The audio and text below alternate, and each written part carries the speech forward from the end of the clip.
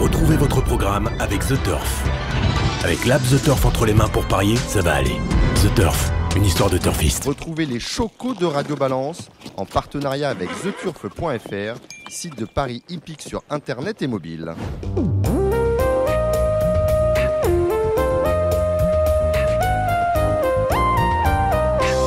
Bonjour, je suis Dominique Cordier, vous écoutez Radio Balance depuis le Cardinal, chez Ludo, Port de Saint-Cloud, Paris 16e. Tout le monde est là dans cette émission, vous retrouverez Gilles Curins, notre président normand. Salut Gilles. Bonjour à toutes et à tous. Kevin Romain du Parisien aujourd'hui en France, vous êtes là. Salut Dominique, bonjour à toutes et à tous. Cédric Philippe de Paris Turf, le taulier. Bonsoir très chers amis, c'est toujours un honneur et un avantage. Jérémy Lévy, ici en Paris, et euh, Gigi Turf, ainsi qu'Equidia. Bonsoir à tous. Et on reprend de la tradition, on en parlera tout à l'heure. La tradition, c'est d'avoir l'avant-veille du Cornulier avec nous, Yves Dreux. Salut Yves. Salut Dominique. Et Christian Bijon. Bonjour à tous. Vous êtes inséparables en fait. Hein. Ouais. Hein, c'est Surtout ex- pour cette émission-là. Exactement. Je le disais, c'est la tradition, c'est c'est la tradition que vous avoir, que de vous avoir dans Radio Balance, dans cette émission qui précède le Cornulier. Le Cornulier, on en parlera en long, en large, en travers. C'est dimanche sur les forums de Vincennes. Alors Yves Dreux, euh, votre actualité, c'est euh, le meeting de Vincennes évidemment, mais c'est désormais l'hipporome de Laval dont vous venez, c'est tout frais, de prendre la présidence. Ça faisait des années que vous attendiez ça. Ce jour-là est arrivé. On doit vous dire, Monsieur le Président, on peut vous appeler Yves encore. Appelez-moi comme vous voulez. J'attendais ça avec impatience. J'ai enfin eu. Non, mais je dois dire que notre euh, président nous a laissé tomber à mi-mandat. Ouais. Donc, il n'y avait pas grand monde, sinon personne pour prendre la Mhm. place. Donc, je me suis collé pour euh, un an et demi.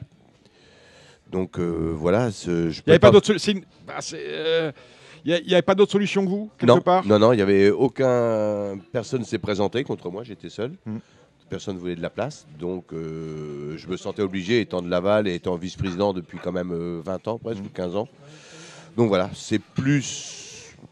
Ah, plus de- d'embêtement que de. Moi, je prends pas ça comme un, un avancement. Madame était d'accord Pas Ou- trop. Ouais, voilà, c'est ça. Euh, Parce que c'est finalement celle qui décide, hein, on Voilà, le sait. comme, partout. Hein. Bah, pas comme partout. Comme partout.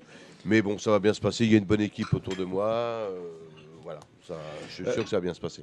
C'est le premier. Vous êtes le premier Dreux à être président de Laval? Euh, oui, oui, oui. de la famille. Je n'ai jamais eu qui, qui présidait. Mon père a été président de Saint-Tron-les-Toits. Ouais. Voilà, mais à de Là, encore, euh, une euh, présidence emblématique parce que Saint-Ouen, c'est une réunion dans l'année, hein, au mois de une septembre. réunion dans l'année. Mais de Laval, non, c'est toujours été des présidents euh, et qui n'étaient pas des socioprofessionnels. Ouais. Hein, toujours des- il y a eu toujours des grands présidents, mais non sociaux. On a eu euh, Jacques Moreau. Jacques qui- Moreau. ensuite, on a eu. euh, Maître Joanne, Oui, monsieur Maître, Maître Joanne. et puis un grand président qui s'appelait André de la Bessière. Exactement, qui, qui donne son nom à la belle course du euh, à la premier belle de la course du Toussaint. 1er novembre. D'accord. Christian Bijon. Alors vous, Christian Bijon, on vous a vu réaliser le coup de deux hier, si j'ai bien vu les courses. Ouais, ouais. Hôtesse au fort, j'ai bien vu. Hein Hôtesse et Et- hip-hop. Et alors surtout hip-hop. Euh, hip-hop, il fait un truc quand même. Il a fait le kilomètre moins de 10, je crois d'ailleurs. Oui, oui, oui. C'est 9,5 le kilomètre, hein, donc euh, c'est très bien. Et là, il, il, il fait que de, de s'amender. Il confirme euh, à chaque course. Donc voilà, il est progrès en progrès. Puis je pense que bon, s'il s'il reste euh, comme ça, on, on va voir. Euh, on va voir, c'est, euh, C'est tout vu, c'est Critérium euh, cette année, Critérium des 5 ans. Bah, disons qu'on on va voir un petit peu. Bon, c'est- à l'automne. Vous savez, les courses avec les bons, c'est un petit peu différent. hein. C'est pas les, ça se court un peu différemment avec des, des coups d'accélération. Mhm. Ça reprend, ça accélère. Donc, faut déjà qu'il qu'il progresse à ce niveau. Quoi. Dans les bons chevaux que vous avez touchés dans votre carrière, ils se situent où? Par rapport à un cheval comme Notre Fort, comme Paris Saufort, des, des chevaux comme ça Ah, je pense qu'il a peut-être, euh, voilà, par, par rapport à, à notre, il a plus de vitesse que notre, ça c'est sûr. Euh, Paris également, je pense qu'il a, c'est, un cheval quand même que on peut, euh, on- sur la vitesse, il peut, euh, il peut bien faire également. hein, mais après, euh, voilà, je vous dis, on n'a pas couru euh, les bons encore. hein, faut, faut Il y a des artifices qu'on voit rarement chez vous. L'écurie Bijon n'a pas pour habitude de mettre des œillères. Et celui-ci est euh, un, peu- un peu encadré. Pour quelle raison? Ouais, c'était un, che- c'est un cheval qui est vraiment, euh, qui était très tendu. Là, il se détend de plus en plus. Peut-être que je, je pourrais lui enlever à, à venir, mais euh, là, il est tellement bien comme ça. Il est dans son, dans sa bulle et il est très très bien. Donc, je, pour l'instant, je touche à rien. C'est vrai que c'est- pas trop votre nature. Le dernier cheval que vous avez mis les œillères, c'est- c'est quand même vous n'êtes pas, pas un coutumier de ça. Non, non, vrai, non, hein. mais bon, quand il y a des chevaux qui ça convient, euh, autant, autant lui laisser pour l'instant. Il est, il est vraiment bien, bien réglé en ce moment. Donc, euh, Ouais. Je sais pas. On change pas euh, chose Voilà. qui fonctionne. On verra plus tard. C'est un cheval qui se plaît à Grosbois Parce que c'est un cheval qui a l'air un petit peu tendu. Bah justement, euh, c'est presque l'inverse, c'est-à-dire qu'il se plaît beaucoup mieux à Grosbois que chez moi. Donc euh, c'est un peu bizarre. Et euh, il est vraiment euh, extra, là, vraiment très détendu, euh, gentil, que des fois il est, il est bouillonnant un peu à la campagne. Donc euh, vous voyez, c'est, c'est pour ça que c'est l'effet inverse. Euh, comment ça se passe entre ton fils et toi? Ton- Vous drivez ensemble, vous partagez les chevaux, c'est toi qui décides de ce que tu fais driver à Charles, qu'on salue? Ouais, ouais, ouais, c'est moi qui décide. Et puis après, bah, au fur et à mesure, de toute façon, il, il drivera de plus en plus et moi de moins en moins. Donc euh, je m'en garde encore quelques-uns. Puis voilà. On a vu un excellent cheval aussi gagner un, un quintet euh, il y a peu, Goéland.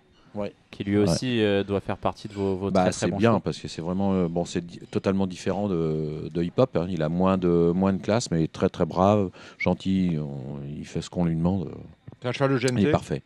Ouais, ouais, ouais, peut-être. Là, il faudrait qu'il monte un petit l'année peu en dernière, gain. il manquait de gain, là, là on y est. Et oui, on n'est pas loin des 200 000, donc euh, s'il prenait un petit peu de gain, pourquoi pas C'est le cheval qui convient, il tourne à gauche, à droite, euh, il n'avait aucun problème. Hip-hop, l'origine, c'est un cheval qui va faire la monte dans ton haras?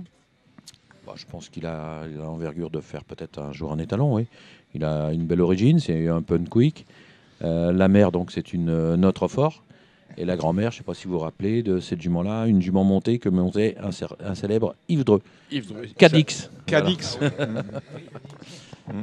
Qui était une jument un peu, euh, un peu space, mais qui est une bonne jument. ouais. Donc, euh, mais là, on fait pas la monte cette année avec hip-hop. On reste Non, pas cette année. Non, non, non, non, non, on va garder le- la compétition. là. Très bien. L'actualité de la semaine, je vous le rappelle, c'est le lancement de la question du jour par le PMU, mais seulement sur son activité digitale, autrement dit sur le point .fr.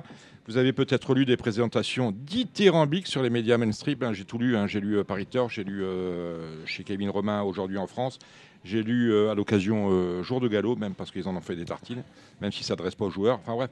Mais ce que j'ai constaté, moi, c'est que les commentaires des internautes étaient éventuellement inversement bons à ce que j'ai pu lire dans les journaux parce qu'ils se sont quand même fait massacrer et, bien taillés euh, par ceux qui jouent finalement. Plus en tout cas que ceux qui écrivent. Quel est votre avis, messieurs, sur cette question du jour? J'ai l'impression qu'on qu'on vient une nouvelle fois d'inv- d'inventer le fil à couper le beurre. Bah, ça part d'un bon sentiment. Après, la cible, euh, je pense qu'elle n'est pas forcément la bonne. Mais après, euh, la question du jour, comme elle l'était hier, euh, Hip Hop au fort contre F7, ou comme elle le sera demain, Eric Raffin contre Jean-Michel Bazir avec Epsom Derfray et Clean Game, ça a un réel intérêt. Après, quand ça concerne un groupe de la question, est-ce que c'est Bazir devant Raffin ou est-ce que c'est Ouais, Epsom Demain, Derfray demain devant c'est Bazir devant Raffin ou Raffin devant Bazir ou aucun des deux dans les trois. Euh, on a voulu changer un petit peu par rapport à, à ce qu'on a fait avec Hip Hop au fort et F7. Euh, J'étais un peu surpris justement de l'intitulé de, de cette première question. C'était Hip Hop au fort. On nous présente ça comme un jeu de conquête, alors que Hip Hop au, fer- Hip- au fort, euh, c'est pas pour vous faire injure, mais c'est pas un cheval qui est connu encore du, du- du grand public. Idem pour F7 qui a dû courir deux Z5 dans sa vie. Et on n'a pas mis en avant et Christian et Jean-Michel. Ah, c'est ça vrai m'a que un peu demain, surpris. On met, on met Raffin et Bazir. Voilà, on, on a tâtonne un petit peu. hein, c'est le lancement du jeu. euh, je pense qu'on essaye de voir ce qui va marcher et ce qui marchera moins. Demain, c'est l'occasion rêvée d'avoir un duel, par exemple. Mm. Parce que voilà, même ici autour de la table, avec Kevin, par exemple, on était- on n'est pas forcément d'accord euh, concernant le sort de la, de la course. C'est sympa d'avoir un, un duel demain, mais les courses qui sont euh, sujettes à ce genre de questions sont assez rares quand même dans une journée. Cédric, je vous ai pas entendu sur la question du jour. Vous avez joué euh, sur la première question qui consistait à, à savoir qui serait devant l'autre de Hip Hop au fort ou de F7 Non. Et pourquoi? Et, pour- et pour- et pourquoi, pourquoi? et, et pourquoi? Parce que j'avais pas fait même- bien ma mise à jour du PMU, Hmm. donc il a fallu que Ah, je fasse oui. quatre Mettre- dé- quatre mettre à démarches. jour l'application, c'est important. Il a fallu faire quatre démarches pour arriver jusqu'au site.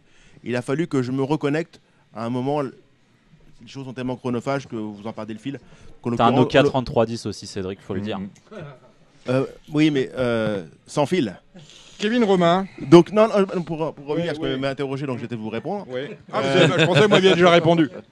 Donc Dominique, euh, cette question-là, pour moi, on est sur un chantier, on, a, on apprend au quotidien. Bon, c'est quelque chose qui est, qui est prévu dans les tiroirs depuis des semaines, mais qui était resté dans le tiroir Non, fermé. Des mois. Oui, des mois. voire des années. voilà. Et euh, euh, c'est le président Barjon qui en avait fait l'annonce officielle il y a un mois et demi lorsqu'il était venu au Cardinal. Le seul problème qu'on a, c'est que le tiroir était resté, resté fermé, on s'était un petit peu pris de poussière. Là, on commence peut-être à apprendre de, de ces relatives erreurs, parce qu'on a fait quand même 19 000 euros d'enjeu, ce qui est quand même assez peu pour une pre- première fois. Euh, le fait de vendre des drivers l'un contre l'autre, c'est peut-être mieux. Maintenant, la question qu'on se pose, c'est que ça change pas grand-chose du, du- du jeu simple. C'est pas beaucoup plus relutif. C'est pas c'est pas appétant. C'est-à-dire que Ah le, le rapport, on parle de conquête, ce n'est pas appétant. Euh, le fait de toucher 1,50 à jouer un cheval contre- 1,53. un 53, un cheval contre l'autre. Si je joue en simple gagnant, euh, Christian Bijon, parce que J'aurais vous- touché un 80 ou un voilà, 90. de vous à moi, c'était un match à deux. Si l'un ne gagnait pas, c'était l'autre. Ouais, mais là, on est, on Donc- est sur du, on est un peu sur le, Kevin le, le loto foot en fait, en- entre guillemets, c'est 1 N2 là. C'est on un est N2, c'est une course à un sur le- partants en fait. Donc quand on joue euh, comme ça sur des matchs de foot, c'est c'est les codes qu'on a à peu près. euh, Le principe du loto foot, c'est comme tu le dis si bien, c'est qu'il y a 7 ou 15 questions avec un rapport très important. Euh, je connais. Oui, le côté match, le côté match par exemple, tu as, des cotes. euh, le PSG contre, euh, je sais pas contre Mm. qui joue ce week-end, mais le PSG va être à 1,40 et pourtant les, jou- les gens jouent quand même le PSG. ça, ça reste un jeu simple. Oui. Donc, euh, par définition, pour moi, ce n'est pas un, un produit de conquête. Donc, Une question plus ouverte, par exemple, en disant combien de courses va gagner Jean-Michel Bazir aujourd'hui, pour moi, a été plus ouverte. Et Ça faisait peut-être sens. plus un produit de conquête et euh, plus disruptif par rapport au jeu simple. Après, euh, nous ne nous sommes évidemment que des faisans, avec un T ou sans Mm. T, ça dépend des heures, et pas des sachants. alors, j'ai été amusé aujourd'hui parce que la promotion du PMU euh, disait ah ben c'est la première fois que le PMU lance un jeu où il n'est pas question de numéro de chevaux. Finalement aujourd'hui on est revenu au numéro puisqu'il fallait choisir la, la tranche. Euh, la tranche de numéro dans laquelle serait situé le gagnant euh, du Z5 qui avait lieu sur l'hippodrome de euh, Cagnes-sur-Mer. C'est là-dessus qu'ils se sont fait, qu'ils se sont fait épingler sur les réseaux sociaux. C'est-à-dire, on joue pas que sur des numéros. non, on joue n'importe des. D'ailleurs, ils pop au fort. Voilà, les- on n'a pas entendu votre avis, un Kevin. jeu, un jeu qui était, d'ailleurs précédemment euh, sur les, dans les autres opérateurs. C'est- un jeu j'ai qu'on juste qu'on pratiquait. une- C'est un jeu qu'ont pratiqué les autres opérateurs et notamment le vôtre, Genibet, quand il lançait les groupes de chevaux. Voilà, exactement. J'ai juste une petite question, une Oui. interrogation. Alors, euh, on n'est peut-être pas encore à ce niveau-là, mais est-ce que ça peut pas être un problème et un danger de jouer sur des hommes? C'est un peu ce qui a freiné euh, l'institution. Je pense qu'en termes de, de- en, en termes d'autorisation, c'est ce qui a freiné euh, le fait que le gouvernement, parce qu'on a des ministères de tutelle, il faut bien les respecter, ce sont eux qui décident, euh, ont mis autant de temps à valider ce, ce jeu. Et beaucoup se sont plaints aussi qu'on n'ait pas une cote fixe pour ce, ce genre de jeu. Je suis tout à fait d'accord avec vous, Dominique. C'est que le problème, c'est que les gens ne sont pas toujours disponibles euh, pour jouer. Et ça appelle la frustration. C'est-à-dire qu'on on est, sur un produit de conquête, donc on, n'est pas un- on a un produit disruptif qui est appelé à séduire une autre cible. Nous, nous sommes habitués à s'ouvrir. Nous sommes, nous, sommes, nous sommes par définition des masochistes. Les, les- les parieurs sont des masochistes. C'est-à-dire qu'ils jouent un cheval à 5 contre 1 à un moment. aussi, il ne faut pas croire. hein. Ils aussi dans un autre domaine. dans un autre domaine. Bon, ça dépend des heures, vous, Yves. Euh, non, Le masochisme. le masochisme, oui, ça, ça dépend des heures. Donc, on joue un cheval à 5 contre 1, poteau franchi, il est payé 3,80. Bon, nous, on a, on a un peu habitué à être frustré. Mm. Sauf que si on, veut, si on veut aller sur un autre terrain, une personne qui joue sur un, un pari sportif a une cote fixe. Le moment T où elle a joué, elle a un rapport prévu, anticipé. Donc on ne peut pas aller séduire une autre cible avec les mêmes défauts que nous avons au quotidien. Vous avez suivi un peu le lancement de cette question du jour ou vous la prenez en venant à Radio Balance Yves Non, mais je vais, je vais répondre à. Mm. Euh, Cédric, Cédric. Cédric, Cédric Lecor, oui.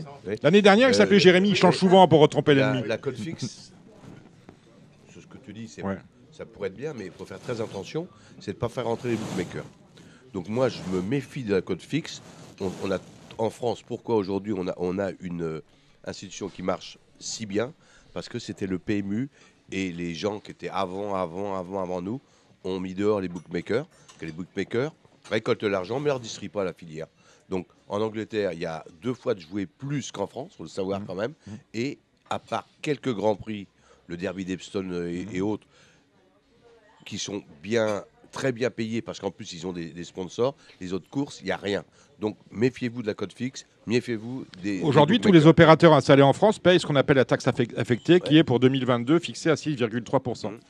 Mhm. Le problème qu'on a, Yves, c'est que, Ouais. c'est que on a l'impression les gens qui jouent à la dernière minute sont les sachants.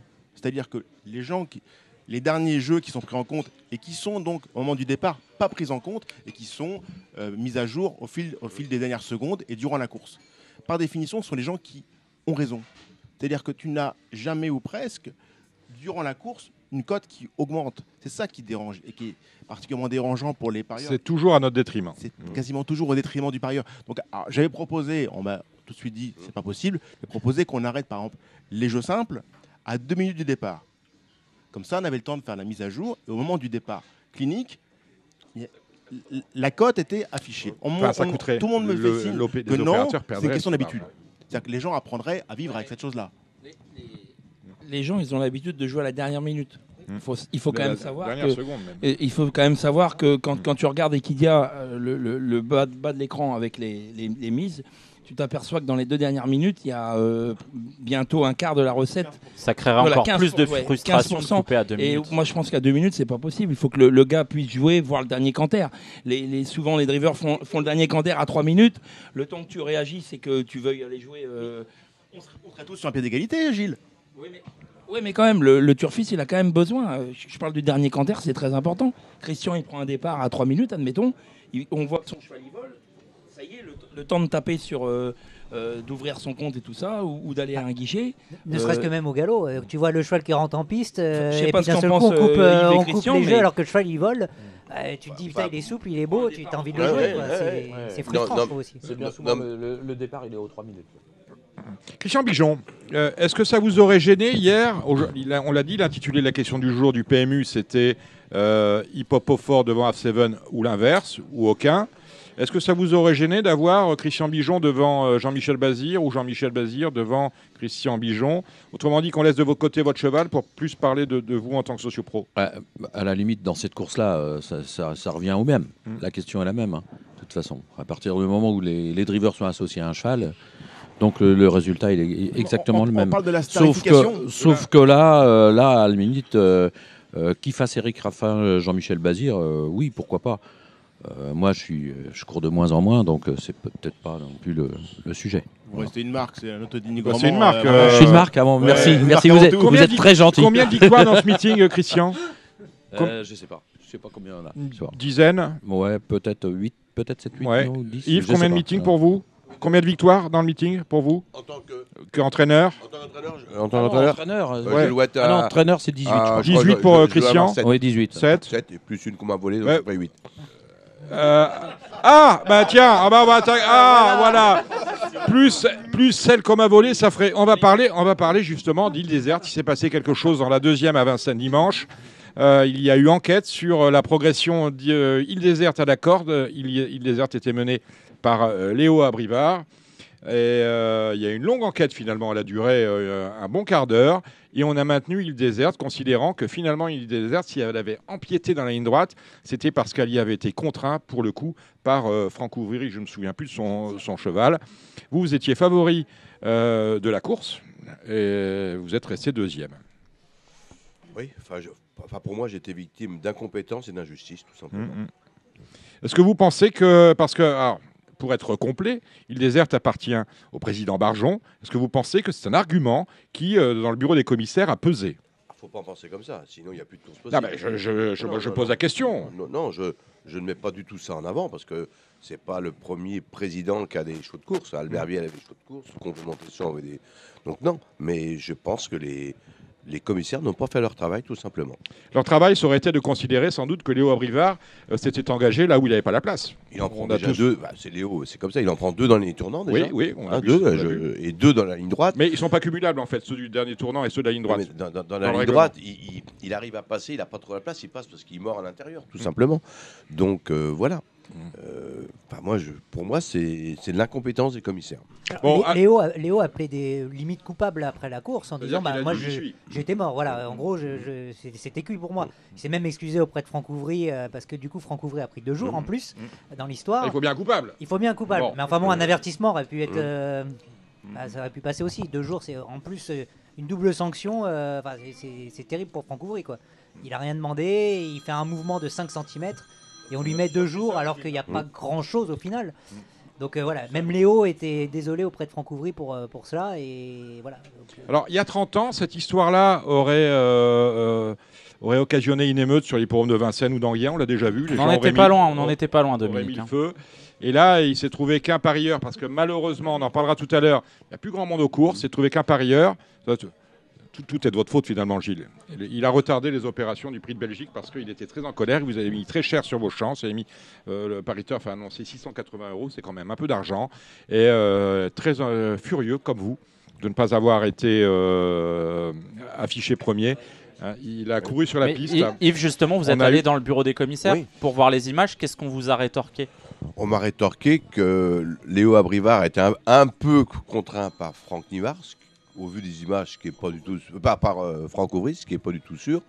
Et la, la- le piqué d'après, il y va sans être contraint. Mais on m'a dit que là, parce que il avait pas le temps de redresser. Voilà, enfin, enfin, on m'a Enfin, dit- on vous avez tort, ils avaient raison. C'est comme d'habitude, nous on vit avec ça toute l'année, hein, hein. pour avoir été chez les commissaires, Ouais. ils vont peut-être aussi faire revoir les images de votre. C'est une pouliche, c'est ça? Ouais. Elle fait combien de foulées Elle fait 13 foulées. 13 foulées. Oui, on a le droit à 15. D'accord. Donc, parce euh, que ça a été aussi un thème Oui, abordé. oui. Non, mais Et alors vous, vous elle a- avez, elle a fait vous 13 avez- foulées. lui, il a compté 16. Lui, Moi, j'ai compté sait pas 16, trop mais parce que, hein. parce que je connais la, la façon de compter des commissaires. Ah. Pour y être allé plusieurs fois. Alors, il, il commence la foulée d'avant, que le cheval est au galop, Mhm. parce qu'ils considèrent que c'est une foulée d'appel, donc une foulée de galop. Et ils attendent la foulée d'après avoir remis le, le cheval pour. Voilà, moi, après leur, compte. Leur compte, je m'y suis jamais retrouvé parce que de toute façon, à chaque fois, on a tort. Donc. Ah, il dirait, pour, pour vous, Yves, vous n'étiez pas disqualifiable de Non, toute mais le distancement reste toujours quelque chose à l'appréciation. Mhm. J'aurais été distancé avec la jument, je n'aurais rien dit. Mhm. Parce que une foulée de moins, de plus, c'est toujours délicat. À... Mm. Et, et on sait quand on est jugé par des hommes, il- c'est toujours délicat. Faut pas, là, je ne remets pas en cause en, plus, en deux fois. Mais là où j'étais pas content, c'est que quand il y a une, une règle, une règle de piquet qui est bien définie, elle, elle doit être appliquée tout simplement. Je vous dis, le, le distancement reste toujours euh, À l'appréciation. À l'appréciation, c'est c'est, on- On est jugé par des hommes, Voilà, pas, on est jugé par, bon, l'intelligence voilà. artificielle. Mais euh, par moment, on n'est pas, inté- euh, on préférait être jugé euh, par l'intelligence artificielle plutôt que par la bêtise humaine. On va dire, dire les choses comme ça, c'est dur, mais euh, Ils étaient combien à juger? Est-ce qu'il y avait des discordances dans les, dans les commissaires ou est-ce que vous l'avez pas c'était su finalement? On, on- on m'a dit qu'il y avait une discordance, mais bon, c'est tout, ils disent pas, ce qui est normal. Donc en tout cas, euh, il déserte a gagné euh, la deuxième à Vincennes dimanche. Vous, vous êtes Marie, vous êtes euh, deuxième. Et un parieur s'est euh, échappé sur la piste. Et on a mis 10 minutes avant de, Est-ce qu'il le ne faudrait, rattraper. il faudrait pas simplifier on, on parle de produits de conquête, Dominique. On a toujours ce problème de règles qui sont mobiles, qui sont, euh, qui sont d'interprétation. Bon, Est-ce qu'on gagnerait pas à simplifier un peu les choses, mais comment? Quelles sont Mais- les pistes à explorer selon Bah, Là, la, la règle, la règle des piquets, euh, je- euh, Gilles, euh, Yves, la règle des piquets, elle est, assez, elle, elle est bien faite et et elle est bien écrite. Juste, quand tu commences à dire que euh, il- le cheval a été contraint alors que pas du tout, euh, euh, tu- tu- voilà, c'est c'est la porte ouverte à, bah, à toutes les erreurs. Et là, ça, ça en est une belle quand même. Bah, vous savez, avant à Vincennes, il y avait- quand il n'y avait pas cette, ce voie, cette voie de Mmh. Il y avait une, une hauteur d'herbe. Ouais. Et avec des piquets assez forts, il n'y avait jamais ce problème de piquet. On a fait une amélioration en faisant Mm. la voie de dégagement, mais- et on se rend compte qu'on va vers d'autres euh, d'autres problèmes, notamment. ces On problèmes pense de trouver des solutions. En fait, on crée de nouveaux problèmes. Voilà, qu'il y avait, il y a- je veux dire, il y a 15 ans, il n'y avait pas ces problèmes de piquet. C'est devenu le jour où on a fait cette voie de dégagement, et, et ce qui est une bonne chose. Ou alors c'est les 1,5 qui posent problème? Et les 1,5, oui, bah ça, là, vous Non, mais- allez. Non, mais je pose une Ah, le- question. le- là. le 1,5, on en parle non, souvent parce ici, que- hein. Parce que dans la ligne droite, on- C'est un vrai on- problème, hein, non, le mais on 1,5, n'est hein, plus, on n'est plus à 1,5. La ligne droite, c'est fini. Oui. Là, tu as la place ou tu n'as pas la place.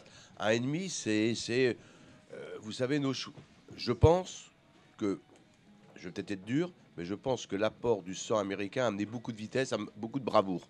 Mais on a amené moins de dureté. On a perdu cette dureté du trotteur français. Et donc, nos chevaux ont 500-600 mètres. Donc maintenant, vous voyez, les jockeys essayent de garder, d'être dans les roues, comme, comme dans un peloton, pour garder cette 500-600 mètres, mais au bon moment. Si vous venez trop tôt, vous l'avez dedans. Si vous venez trop tard, bah, vous êtes battu. Et maintenant, on voit bien. Alors, 1,5. Pourquoi 1,5 Parce qu'on essaye de faire sortir celui qui est devant, qui est devant nous. Et ça crée donc ce, ce problème des 1,5 qui va pas être facile à résoudre. Parce qu'avec les drones que vous avez désormais, qui sont de plus en plus présents, on peut beaucoup plus identifier les problèmes et les, par, les aventureux, entre Oui. guillemets, sont identifiables. Oui, mais c'est c'est pas évident. Ouais. Je vous dire que c'est pas évident parce que on est tous à même moi-même, euh, j'essaie de temps en temps de- de- d'essayer de, faire sortir le gars qui est, qui est devant pour qu'il Mm. m'emmène le plus Bien loin sûr. possible. Et donc, en essayant de le faire sortir, bah, on est à 1,5 ou 2,5 et sans trop le vouloir, mais on le fait. Donc, je dirais que c'est une mode de drive maintenant qui pose problème, mais c'est une nouvelle Vous qui avez de l'expérience, Yves, les courses ont changé et sont beaucoup plus stratégiques désormais. Oui, je vous dis, les chevaux ont plus de vitesse, mais à mon avis, la- leur pointe de vitesse est beaucoup plus est moins acérée. Enfin, on va plus vite, mais moins longtemps. ouais. La côte de Vincennes a été beaucoup diminuée. Donc Très avant, baumée, ouais. avant, on faisait les comptes en roue, il en restait trois en Mm, gros. ouais. Que maintenant, euh, en haut de la côte, euh, il y a encore 5, 6, 7 chevaux qui peuvent gagner. Donc, c'est celui qui a, qui a gardé la, pointe, la, la meilleure pointe pour finir qui gagne. Euh, Dites-moi, il faut en, en revenir à vos, à vos chevaux. Comment vous, euh, par moment, vous faites, pas- euh, vous faites driver à quelqu'un de la famille? Moi, Je pense que vous le faites driver parce qu'il y a votre famille, c'est c'est Eric Raffin. Si vous aviez le choix, vous prendriez peut-être euh, Eric Raffin. Euh, Ah, alors, c'est- quoi votre question? Euh, comment, comment, pourquoi Eric par moment et, et vous d'autres? À quel moment choisissez-vous de faire driver votre genre? Écoutez, Eric courait après le record de, de victoire. Ouais. Donc à chaque fois, je l'ai fait driver cette année ou, ou cet hiver. euh, je considérais que le cheval a vraiment une première chance de gagner la course. Parce qu'on sait que dans une course, aujourd'hui, il a 3-4 montes pour gagner. Donc j'essayais pas de, de- de le mettre de... Donc à chaque fois qu'il a drivé, c'était vraiment une première chance. Donc voilà, puis il y a d'autres chevaux que je me garde quand même. Mais en règle générale, j'essaie de lui trouver... euh, enfin, quand il drivait pour moi, il, et la preuve, c'est que prenez les statistiques, il a pratiquement toujours été dans les trois premiers. Donc quand on voit quand on voit Raffin sur un livreux, euh, un boy ou, ou une girl, C'est- normalement une première chance. Euh, Christian Bijon, euh, on n'a pas entendu sur l'histoire île déserte et, euh, et la, et la Bah, pouliche de, de Yves. Vous ouais, avez, bah, vous avez vu la course comme nous. euh, quelle a été votre première réaction? Ah bah, Parce que pro- quand Yves est rentré, vous avez dit t'as gagné, de toute façon ça va Oui, se oui, oui, c'est sûr. Et puis, euh, comme euh, vous disiez également, Léo était à peu près sûr de son fait de de d'être secoué. Donc, euh, bah, c'était l'avis de tous les professionnels à peu près à 90%. Et là, euh, bon, c'est vrai qu'on est resté un peu stupéfait. Et c'est, je sais pas, on a vu les images comme tout le monde. Et ouais, ça, ne- ça, ça a été un fait marquant. Juste, j'ai Oui, une question parce que justement, c'est l'avis de tous les professionnels. Est-ce qu'à un moment donné, les professionnels peuvent avoir leur mot à dire, rentrer dans le bureau des commissaires et dire attendez, là, euh, là ça va trop loin, il y, a- il y a une vraie connerie, euh, on peut pas laisser passer ça. Est-ce que les professionnels pourraient dire, on pourrait, on pourrait dire non, là c'est pour- pas possible, là, les gars, il y a quelque chose qui va pas. Bah, disons que, vous savez, c'est comme au foot. hein. C'est l'arbitrage. hein. Donc, euh, vous pouvez pas revenir hein, si à ce moment-là, euh, Avant- les avant- professionnels rentrent dans le bureau pour dire bah, c'est mal jugé. c'est- Non, non, c'est à, c'est à- c'est à nos commissaires d'être euh, vraiment euh, bons, c'est tout. Et, mais euh, c'est pas des, des personnes extérieures qui doivent donner le jugement, ça c'est sûr. Si, tu fais ça, c'est la porte ouverte à tout. Euh, Parce que tous tous les professionnels étaient, euh, étaient outrés de- du, du résultat de l'enquête. Euh, Qu'ils aient eu un partant ou pas de partant. Mais le, problème, c'est euh, que, c'est que le rouge était mis et c'était entériné. Donc après, à partir de ce moment-là, Christian, il a raison. C'est exactement comme au football. hein. Et alors pourquoi j'ai- Alors au galop, je sais que ça se fait. Pourquoi au trot, on, on ne demande pas l'avis des professionnels qui sont euh, concernés? Pourquoi on les fait pas venir dans le bureau des commissaires justement pour avoir le- point de vue de tout le monde? Est-ce que ce serait pas une évolution peut-être à Peut-être, peut-être c'est un jugement qui est comme ça trop, mais c'est sûr qu'une fois le rouge mis, on ne peut plus changer, et c'est normal. Je, Euh, Est-ce que je- on- on même, a- même si je vous dis c'est dur pour moi, mais on ne doit plus changer, sinon on peut plus, on peut plus rien juger. On, a- on en a Mais- souvent parlé ouais. ici. Est-ce que vous êtes, euh, vous, Christian, vous, Yves, euh, favorable à la création d'un corps professionnel de, de commissaires Je pense que ceux qu'on a là, on peut presque les considérer comme professionnels. Ils sont pratiquement tous les jours. Donc il n'y aura pas une grosse différence. Mais un corps professionnel serait. euh, ce, ce serait des employés. Hum. Donc qui dit employé, aurait un patron. Donc vous voyez, il y a, il y a d'autres. euh, on va vers d'autres problèmes aussi. Donc on, on en revient au même problème. Quand tu, quand tu penses euh, amener une solution, tu crées d'autres problèmes. Et, ben, oui, il a- euh, tout est dit. Yves Bon, a raison. Yves, pas mais, facile. Mais. Yves a souvent raison. Euh, ben, non, mais c'est, mais c'est vrai. C'est vrai, vous êtes un homme de bon sens. Je sais pas. Je que- J'essaie, Je j'essaie. sais que de- vous essayez d'être homme de bon sens. Euh, dites-moi, Yves, qu'est-ce que Yves, euh, président de, de Laval, ça va changer quoi pour l'hippodrome de Laval? Vous allez vous inscrire dans la continuité de, de Jacques Moreau, d'Alexandre Lanoé, ou vous allez essayer de d'apporter votre patte Corde à la droite, société Corde à de... droite et en mâche fer. Ouais, la société de Laval Mayenne. Non, le- l'hippodrome de Laval euh, est un hippodrome. Aujourd'hui, on a, on a à peu près tout.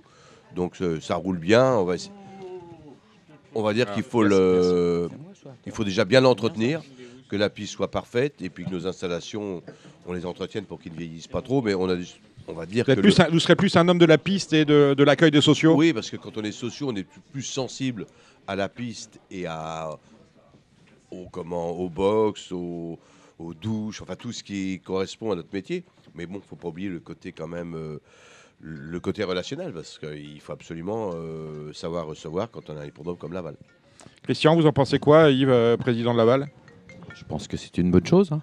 Hmm. Il a été vice-président, donc euh, voilà, il a pris le relais. vous êtes, vous êtes membre de la société? Oui, oui. Hmm. Et euh, non, non, c'est bien. Bah, voilà, il est à la hauteur. hein, ça fait, il connaît euh, l'hippodrome de Laval de, sur le bout des doigts, donc euh, c'est pas c'est pas un problème. Et puis euh, il y a une, toute une bonne équipe. hein, surtout, il faut, faut vraiment dire que l'hippodrome de Laval, euh, je ne sais pas si vous avez déjà eu l'honneur de, de venir. Je suis venu le 1er novembre. Voilà. J'étais là le 1er novembre. Ah bah bravo. Une très belle Donc, réunion. Vous avez vu que l'hippodrome quand même Je était vous ai vu terminer deuxième derrière Charles. C'est bon? C'est vrai. La, la- la course d'ouverture. Élite et hôtesse. Oui, Hôtesse qui a gagné euh, hier, justement. Et donc, vous avez vu l'hippodrome quand même. Oui. Bon, il y a toujours, euh, toujours des, quelques des petites choses à améliorer, mais quand même, euh, on peut dire qu'aujourd'hui, c'est un très bel hippodrome. C'est un hippodrome, c'est un hippo- un hippodrome extrêmement convivial. J'étais allé il y a très longtemps, quand Astel Billon avait gagné le Grand Prix d'Avessière. Alors, C'est vieux. Première fois que j'y étais allé. Bah, c'était pas hier. Et euh, c'était pas comme ça. Les écuries n'étaient pas ce qu'elles sont aujourd'hui. Et euh, on avait bu le coup d'ailleurs avec, euh, avec votre papa. Je m'en souviens très bien. Euh, bah, c'était euh, c'était pas hier, mais c'était comme si c'était hier dans, mon- dans mon esprit. Juste en aparté, on va dire Mm. que les réunions PMU, Premium maintenant, ont apporté quand même euh, de l'argent à, tout- Mm. Et à d'autres, à tous ces hippodromes qui organisent des réunions Premium. Et avec cet argent-là, ils ont quand même embelli leur hippodrome. Regardez quand même, on a quand même des hippodromes maintenant provinciaux qui tiennent la route. Très bien. On entendra en fin d'émission euh, un, un auditeur de Radio Balance. Il s'appelle Julien Fonsec. Il est photographe amateur. Un aparté pour vous inviter à écouter l'émission jusqu'au bout. Euh, il sillonne les, champs de course et de Navarre, s'il y en a encore, pour s'adonner à ces deux passions que sont euh, le cheval et la belle image. Malheureusement pour euh, Fonsec, qui habite euh, la région parisienne, euh, c'était mercredi, il a pris euh, son ticket de TGV pour euh, les gens comme ça. Il, traverse la France pour aller aux courses. Et lui, il s'est dit, je vais aller à Marseille-Vivo. Et à Marseille-Vivo, il est arrivé, son, comme d'habitude, euh, comme il le fait à Vincennes, comme euh, je l'ai vu au Mans, avec son euh, appareil photo en bandoulière, et on lui a interdit l'entrée. Euh, sous prétexte qu'il n'était pas accrédité, mais l'entrée était libre. Il n'est pas journaliste professionnel, il n'est pas photographe professionnel, c'est son kiff de faire des photos. On lui a interdit l'entrée. On entendra euh, son témoignage. Je vous invite euh, à, à- à évoquer maintenant le prix de Cornulier. C'est la belle course de dimanche, et on a avec lui l'un des hommes qui a arrêté de dormir depuis huit jours déjà. Ici, avec nous, c'est Gilles Curins. Gilles, Je sais pas arrêter de dormir. a pas arrêté de dormir. Huit mois, ouais, ouais, c'est ça. Euh, comment est Gladys Elle est bien. Ah, Elle est très bien. Elle a travaillé euh, hier matin. Elle était top. Donc, euh, on va prier pour que jusqu'à dimanche, euh, il nous arrive rien. Mais la jument est bien. Est-ce que, euh, tiens, on va poser tout de suite la question à Gilles, vous avez été- euh, à Yves, vous avez été un, un jockey émérite. Vous n'êtes pas allé jusqu'au bout de la réflexion de la monte en avant, mais vous l'avez quand même, Précurseur quand même. Oui, précurseur d'une monte un peu plus légère, mais vous n'êtes pas allé au bout de la réflexion, euh, réflexion qu'a achevé, disons-le, Philippe Machael, C'est vrai. parce que vous n'aviez pas osé ou euh, Bah, vous savez, je pense que je l'ai déjà dit, c'est que dans toute euh, enfin, révolution. Vous auriez fait ça en 1980, vous aurez jeté des cailloux. Non, mais c'est dans toute évolution ou révolution, c'est quand euh, la, la chose se fait que ça devient une évidence. Je, je parle toujours du, du saut en, en Salisbury. Euh, quand les, le, quand, quand le- ce type, c'était un, Anglais, je crois, Mhm. la première fois qu'il a sauté comme ça, ils ont gagné je ne sais combien de centimètres et c'est devenu une évidence. Mais il faut toujours quelqu'un qui n'ait pas peur justement de, de passer pour un, un con, pour euh, faut dire les mots. Et, et moi, j'ai pas osé, j'ai pas osé ra- raccourcir euh, mes pédales comme Philippe, Philippe Machael. Même au départ, je trouvais qu'il était trop court, vous voyez. Et en fait, il avait raison. Il a, il a, il a vraiment euh, propulsé le trop monté comme on, comme on le voit aujourd'hui. Alors Dick Fosbury était euh, américain. Américain. C'était euh, les, les- les JO de 1968. Mais D'ailleurs, euh, les, les disciples, je ne sais pas si on peut appeler ça comme ça, de, de Yves Dreux montaient, montaient euh, plutôt en avant. Guillaume Lisée était plutôt assez, assez court, assez euh, en position aérodynamique. Après, il y- avait Nathalie Henry aussi. Alors, je ne crois pas qu'elle soit passée chez vous, Nathalie Henry. Non. Mais bon, il y, a- y y eu un prémisse aussi de, de voir euh, Yves Dreux comme ça. Les générations hein, un peu plus récentes euh, avaient déjà commencé à prendre un petit peu le pli avec Philippe Machkel. Et... Il y a eu un record également qui a été battu par Moneymaker. Et c'était une, une jeune fille qui montait au galop, avec la position galopeur. Et elle a battu le record de montée sur le, le mail, je crois. Alors, la question que je vou- je voulais poser à Yves par rapport à ça, c'est. euh, on- Je vais vous rajeunir de 20 ans, je- Yves, ou peut-être de 25. Euh, je vous laisse le choix de, de votre monde dans ce cornulier-là. Aujourd'hui, là Oui, oui, oui. Dans, dans le cor- cornulier Ouais, de. ouais, d'aujourd'hui, de dimanche. Alors, je dois dire que c'est pour moi, c'est un, un cornulier très très ouvert. Si j'ai le choix, je monte Hirondelle du Rib. Ah, pourquoi?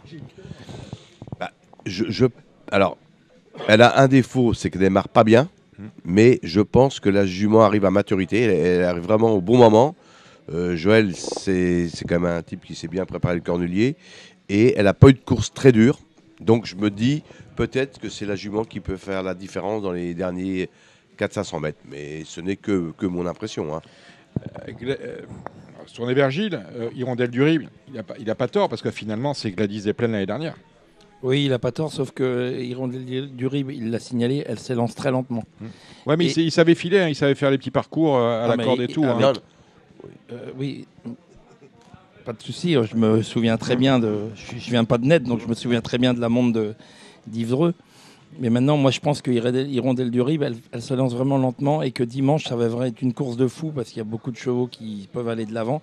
Et, et 15 partants, si elle est 15e en partant, on sait que c'est quand même difficile de, de revenir. C'est les courses courses de- beaucoup plus rapidement euh, Oui. qu'à cette époque. Bah, surtout s'il y a du train. Et il y a, dans ces courses-là, il y a rarement de temps mort. Euh, Yves, tu n'as jamais gagné le, le- le cornulier, Non. ça fait partie de- d'un des grands regrets de ta carrière Oui. ou, euh, Bah, oui, c'est vrai que j'aurais gagné le cornulier, ça m'aurait fait plaisir. On, on vit sans. hein. Mm. Mais bon, il y a, quelqu'un qui a, qui a tout gagné en France au trop monté qui ne l'a pas eu non plus, c'est Gérard Masque. Donc, Mm. on peut dire que c'est lui, c'est un. le musclé est pleine forme hein, Je l'ai croisé Thomas, mercredi, musclé est en il est magnifique. ouais. Mm. Ouais. C'est vrai. Donc voilà, mais le cornulier reste une, une course magnifique, hein, magnifique à courir, magnifique à gagner. Et demain, je trouve que c'est une, une belle édition, parce que c'est une édition où il n'y a pas un, favori, un chaud favori, et il y a vraiment 5-6 chevaux qui peuvent le gagner, voire euh, 7-8. C'est- Ça va être euh, une belle course. Hirondelle du Rib, est-ce que ça fera partie de. Est-ce que d'abord c'est votre favorite, Jérémy Lévy, ou est-ce qu'elle est qu'elle fera partie de votre pronostic? Voilà, Elle sera dans mon prono, ça c'est une évidence, parce que déférer des 4 pieds, elle est irréprochable. Elle a eu un- une préparation, je trouve, optimale, et Joël Allais s'est bien préparé cette course. Moi, ma favorite, ce sera Flamme du Goutier, le numéro 9, pour les raisons évoquées par Gilles euh, juste avant. Il y a beaucoup de, de concurrents pour aller de l'avant, alors je vois bien une grosse bataille en tête. Allez-y, allez-y. Bah, Il y a Fantasy avec Johan Le Bourgeois qui peut aller de l'avant, qui a gagné le Calvados euh, en allant devant, même si elle a hérité du commandement après la, la sanction contre Fado Duchesne. Il y a Gladys Desplaines, si j'ai bien compris, on va aller de l'avant. On va devant a- avec euh, Gladys? Oui, bah, il n'y a que comme ça qu'elle a, qu'elle a fait ses grandes performances. Il y a un cheval comme Freeman de Well avec Eric Raffin qui va vouloir absolument aller de l'avant parce que euh, il est bien meilleur en dominant, donc euh, va vraiment y avoir de l'ambiance et euh, on peut on peut y laisser des plumes. Donc euh, moi j'aime bien Flamme du Goutier parce que elle elle va pas aller devant, elle va filer, elle démarre correctement et euh, je trouve que sa préparation a été très bonne. On lui remet la selle que pour le cornulier. Ça va être ma favorite. En tout cas, je pense que c'est une très bonne base. Et il y a le cas Bayakeno qui sera déféré des 4 pieds et, et Billy Billy aussi qui sera déféré des 4 pieds, lui qui a été très décevant dans le Calvados. A priori, le cheval donne satisfaction à l'entraînement. Quelle impression donc, euh, vous a fait Billy Billy, Yves, euh, dans le Calvados? Moi, pas, pas terrible, Ah, personnellement. on, on a affaire à un cheval qui a été deux ans sans courir monter. Donc, euh, sur le moment, j'ai pensé qu'il y avait qu'un an, mais il y a deux ans. Ouais, et puis c'est à Donc- 11 ans en plus. Et c'est à 11 ans. Donc, si on prend la performance euh, au pied de la lettre, on dit c'est pas, c'est pas mieux que ça. Mais si on fait vraiment l'analyse, on ne peut pas dire que ce soit archi nul. Et c'est quand même, je vais dire, le- on va dire que c'est quand même le cheval de classe du lot. hein. Euh, le- il y a deux ans ou trois ans, c'était le meilleur cheval monté. Il faisait des choses extraordinaires. Moi, j'ai peur qu'il lui en manque pour cette course-là. Mais, mais un crack reste un crack. Kevin, on n'a pas entendu parler du cornulier, on a entendu le papier de Jérémy, vous n'avez rien à ajouter, Jérémy, hein, c'est bon. Kevin. Euh, Juste, euh, Oui. je re-regardais ça. Le dernier 5 ans, pour parler d'Hirondelle du Rib, le dernier 5 ans à l'avoir gagné, c'était en 2007, c'était One du Rib. Euh, oui, One du Rib, pardon. Oui, parce que le- on- les, les plus jeunes d'entre nous l'oublieraient peut-être, mais Joël Allais, c'est le vrai entraîneur de cornulier. On a ga- C'est d'ailleurs c'est celui qui a le plus grand nombre de, de cornuliers gagnés. hein. Il, a même gagné à, il a même gagné à 90 contre 1 ou 100 contre 1 avec Toubon. On y était. Vous voyez? Vous y étiez dans la course de Toubon? Ah oui, Ouais, je bah, je- moi, je me rappelle, hein. J'étais Ah, deuxième. Euh, tu- ah, oh là là là, oh la gaffe, oh la gaffe avec Didier de Montfort. Il était grand Encore- favori. T'étais grand favori. Encore une gaffe, monsieur Cordier. Oh. Et oui, C'était avec- avec Alpha Vivier. Barbès Non, non. Ah, Vivier. Vivier. Vivier, Montfort, pardon. Qui était, qui était un crack absolu aussi. Qui a gagné le prix de Paris Qui a gagné le prix de Paris après. à l'athlé. Voilà. Et que- justement, à cet âge-là. hein. à cet âge-là, hein, Hein ce meeting-là. Et écoutez, c'est euh, bon. Kevin, ton papier. Euh, tout simplement Flamme du Goutier. euh, Ouais. Je rejoins totalement ce qu'a dit euh, Jérémy. Ça va être une course qui va, qui va être menée à grand train et, et forcément elle qui, est, qui va être très bien, qui peut être bien placée, qui va pister, qui va attendre sagement. Avec un jockey qui a, qui a de l'expérience à ce niveau, qui a été deuxième l'année dernière. Enfin, je trouve qu'il y a tout qui est réuni pour que ça, ça se passe bien pour Flamme du Goutier. Donc logiquement, je, la, je, la mets, je la mets en tête. J'aime beaucoup Gladys Desplaines, évidemment, qui sera déférée, euh, ce qui n'a pas été euh, souvent le, cas ces derniers temps, depuis le prix de Normandie, ce que nous disait Gilles. Et puis, euh, et puis Grand Villesse Bleu, qui sera surveillé de près, je pense. Faudra, là aussi, on parlait du départ, il faudra, il faudra aussi qu'au moment du départ, cela se passe bien pour, pour Grand Villesse Bleu et Camille Lévesque. Et si elle est peut-être un petit peu plus offensive que ce qu'on l'a vu par le passé, oui, elle a le droit de faire partie des, 3 ou 4 premiers. C'est devenu une course de filles finalement, le prix de Cornulier. Quand on regarde, on a Hirondelle du Rib, Fantasy, Florida Sport, Grand Villesse Bleu, on a Gladys des Plaines, Flamme du Goutier, Bilouka du Boscaï, Étoile des Bruyères et Bayakeno. On a euh, pratiquement 6 ou 7 6 mâles pour euh, 9 pouliches. Ouais, si c'était ouvert aux Hongres, ce serait peut-être un petit peu différent. C'est dur de garder un mâle euh, sur la brèche, Le comme on l'a vu avec le Billy meilleur, Billy. c'est que avec des champs. Ah ouais, ah oui. Tu dis quoi, Yves, toi? le meilleur, mais il est Hong, donc c'est pas Ouais, le c'est meilleur. ça, c'est pas le meilleur, c'est Il n'y a pas il y a pas, Y a pas à encore- chiquer, c'est il y a comme pas ça. à chiquer, c'est comme ça. Voilà, c'est tout. Les étrangers, on n'a pas parlé de Zaron Fass, ça vous, ça vous parle ou pas? Il est sur sa dernière course euh, dans le Calvados. hein. Et, euh, oui, il- a le droit d'être dans les, dans les 5 Sa premiers. dernière course n'était que sa deuxième sortie dans la, dans la spécialité. Oui, oui, oui. Bah, la course était bonne, donc euh, oui, on peut lui voir une chance pour être dans les 5. Après, pour gagner, on a l'impression quand même qu'il y a- il y a un peu d'autres priorités, mais oui, il fait partie de, de ces chances-là. Après, s'il gagne, on va pas crier non plus totalement au scandale. Quoi. Ah oui. Et puis il y a des outsiders, en commençant par une jument qui vous est sans doute chère, c'est Étoile de Bruyère que qu'entraîne euh, Charles, votre neveu. Bah donc c'est la- c'est ma jument de cœur, c'est vraiment la jument type pour être dans les 5, que dans les grands prix, et- enfin dans le Cornulier notamment, elle, elle se transcende toujours. Normalement, elle doit être dans les 5, dans les 3, ce serait formidable, mais il lui faut quand même un bon parcours, il faut qu'elle suce les roues et qu'elle vienne pour finir. Donc voilà, il faut qu'elle ait un bon parcours, mais elle devrait, elle devrait normalement bien courir. Elle a répondu à ses attentes dans le Calvados. qu'elle courait ferrée, elle n'a pas été étincelante, mais euh, on a l'impression que c'était prévu dans le plan. Elle a fait un peu la même course que l'année dernière. Donc il était content après la course. euh, je vous dis, elle avait un, peu- un peu de fer, elle avait même des bottines. Donc la, la prochaine fois, elle va vraiment, enfin dimanche, elle sera vraiment en mode, euh, en mode cornulier, on va dire. Donc voilà, elle devrait, enfin, à mon avis, elle devrait bien courir. Maintenant, euh, ça va être serré, il va falloir que ça se passe bien. Surtout qu'elle a le bon profil aussi, hein, c'est une bonne pisteuse et euh, elle est un petit peu indissociable de Feeling Cash puisqu'elle a terminé sur la même ligne que lui euh, il y a deux cornuliers, celui qui gagnait Billy Billy le dernier. Feeling Cash que François Lagadec a donc préféré à Fantasy. C'est logique, il s'était engagé de- depuis un petit moment dessus. Donc, euh, donc voilà, Feeling Cash qui doit être euh, peut-être la meilleure chance des mâles. Euh, Feeling Cash, oui. Alors euh, François Lagadoc n'a pas d'autre choix que de, que de, que de le monter hein, plutôt que Fantasy. hein. Alors, juste pour, pour Feeling Cash, pour avoir du coup discuté avec François Lagadec, le cheval n'a parcouru depuis le prix de l'Île-de-France, je crois, au Oui. monté. Il a fait un hit au, au trot monté euh, lors de la qualif 2. Alors du coup, c'est ils ont tenté des choses. Ils lui ont enlevé l'enraînement et mis un bonnet fermé. C'est ce que me disait François Lagadec. Et visiblement, euh, bah, tout, tout semblait parfait pour François et donc il était plutôt content et François est en pleine confiance. Donc euh, fait partie même- aussi de. C'est quand même une bonne info pour les parieurs, ça. Bah, Bonnet fermé sans enraînement. Visiblement, c'est ce qui a été testé. Alors, est-ce que entre temps, avec Philippe Allaire, je ne sais pas si on va changer quelque chose ou pas. En tout cas, c'est ce qui était prévu dans les plans et c'est ce qui, c'est ce que François Lagadec nous a confié. Et personne ne parle de l'invité mystère, c'est Voilà de Muse Oui. Non, c'est rien. Euh, Vous avez des échos, vous qui êtes très proche de Non. Sébastien Garato Non, pas Vous allez au spécialement. mini, au mini, mini libérard parfois, je sais. Oui, de temps en temps. ouais. Mais non, on n'en a pas forcément, euh, forcément parlé. Et tout ce qu'on peut dire, c'est que Et voilà de Muse euh, a dû courir deux fois, je crois, trop monté. La première fois, c'était très bien. Et la deuxième fois, c'était dans, dans Normandie. Et c'était beaucoup moins bien. Mhm. Et, Il euh, était favori du Normandie, oui, pense. ouais, hein. c'est Favori. en, en Ouais. termes de qualité, c'est un super cheval qui est, qui est très dur. Euh, oui, et là aussi, on peut pas non plus totalement l'écarter. Il n'y en a pas beaucoup qu'on peut écarter dans la course, mais celui-là aussi. Et Et Dominique est la tenante du titre, non, personne n'en parle. Eh ben, il y a Keno, personne n'a dit son nom. Personne n'a cité son nom, parce que c'est quand même une On a cité son nom justement dans les cas problématiques. Junior Galpa a décidé de la déférer. Bon, c'est normal, il n'y a plus rien à perdre. hein. Elle a 11 ans maintenant. euh, voilà, elle a tout le temps couru ferré monté. L'année dernière, elle a gagné le Cornulier ferré. Euh, attention à elle, c'est un peu le facteur X dans cette Avec une épreuve. préparation singulière à répétition. Ouais, c'était pas si mal dans le Bourgogne. Mm. Euh, J'ai trouvé son comportement correct, peut-être un petit peu moins bien que Flamme du Goutier, mais c'était propre. Et c'est vrai que l'année dernière, on l'attendait pas à pareille fête, et cette année, euh, attention à elle. En plus, on peut évoquer Mathieu Abrivard qui, Voilà. a, qui a dit dans la presse cette semaine qu'il allait arrêter sa carrière montée très prochainement, donc peut-être Dans les colonnes de Paris on peut peut-être penser que s'il venait à gagner dimanche, il Possible, pourrait hein. peut-être euh, euh, s'arrêter là. Voilà, s'arrêter là.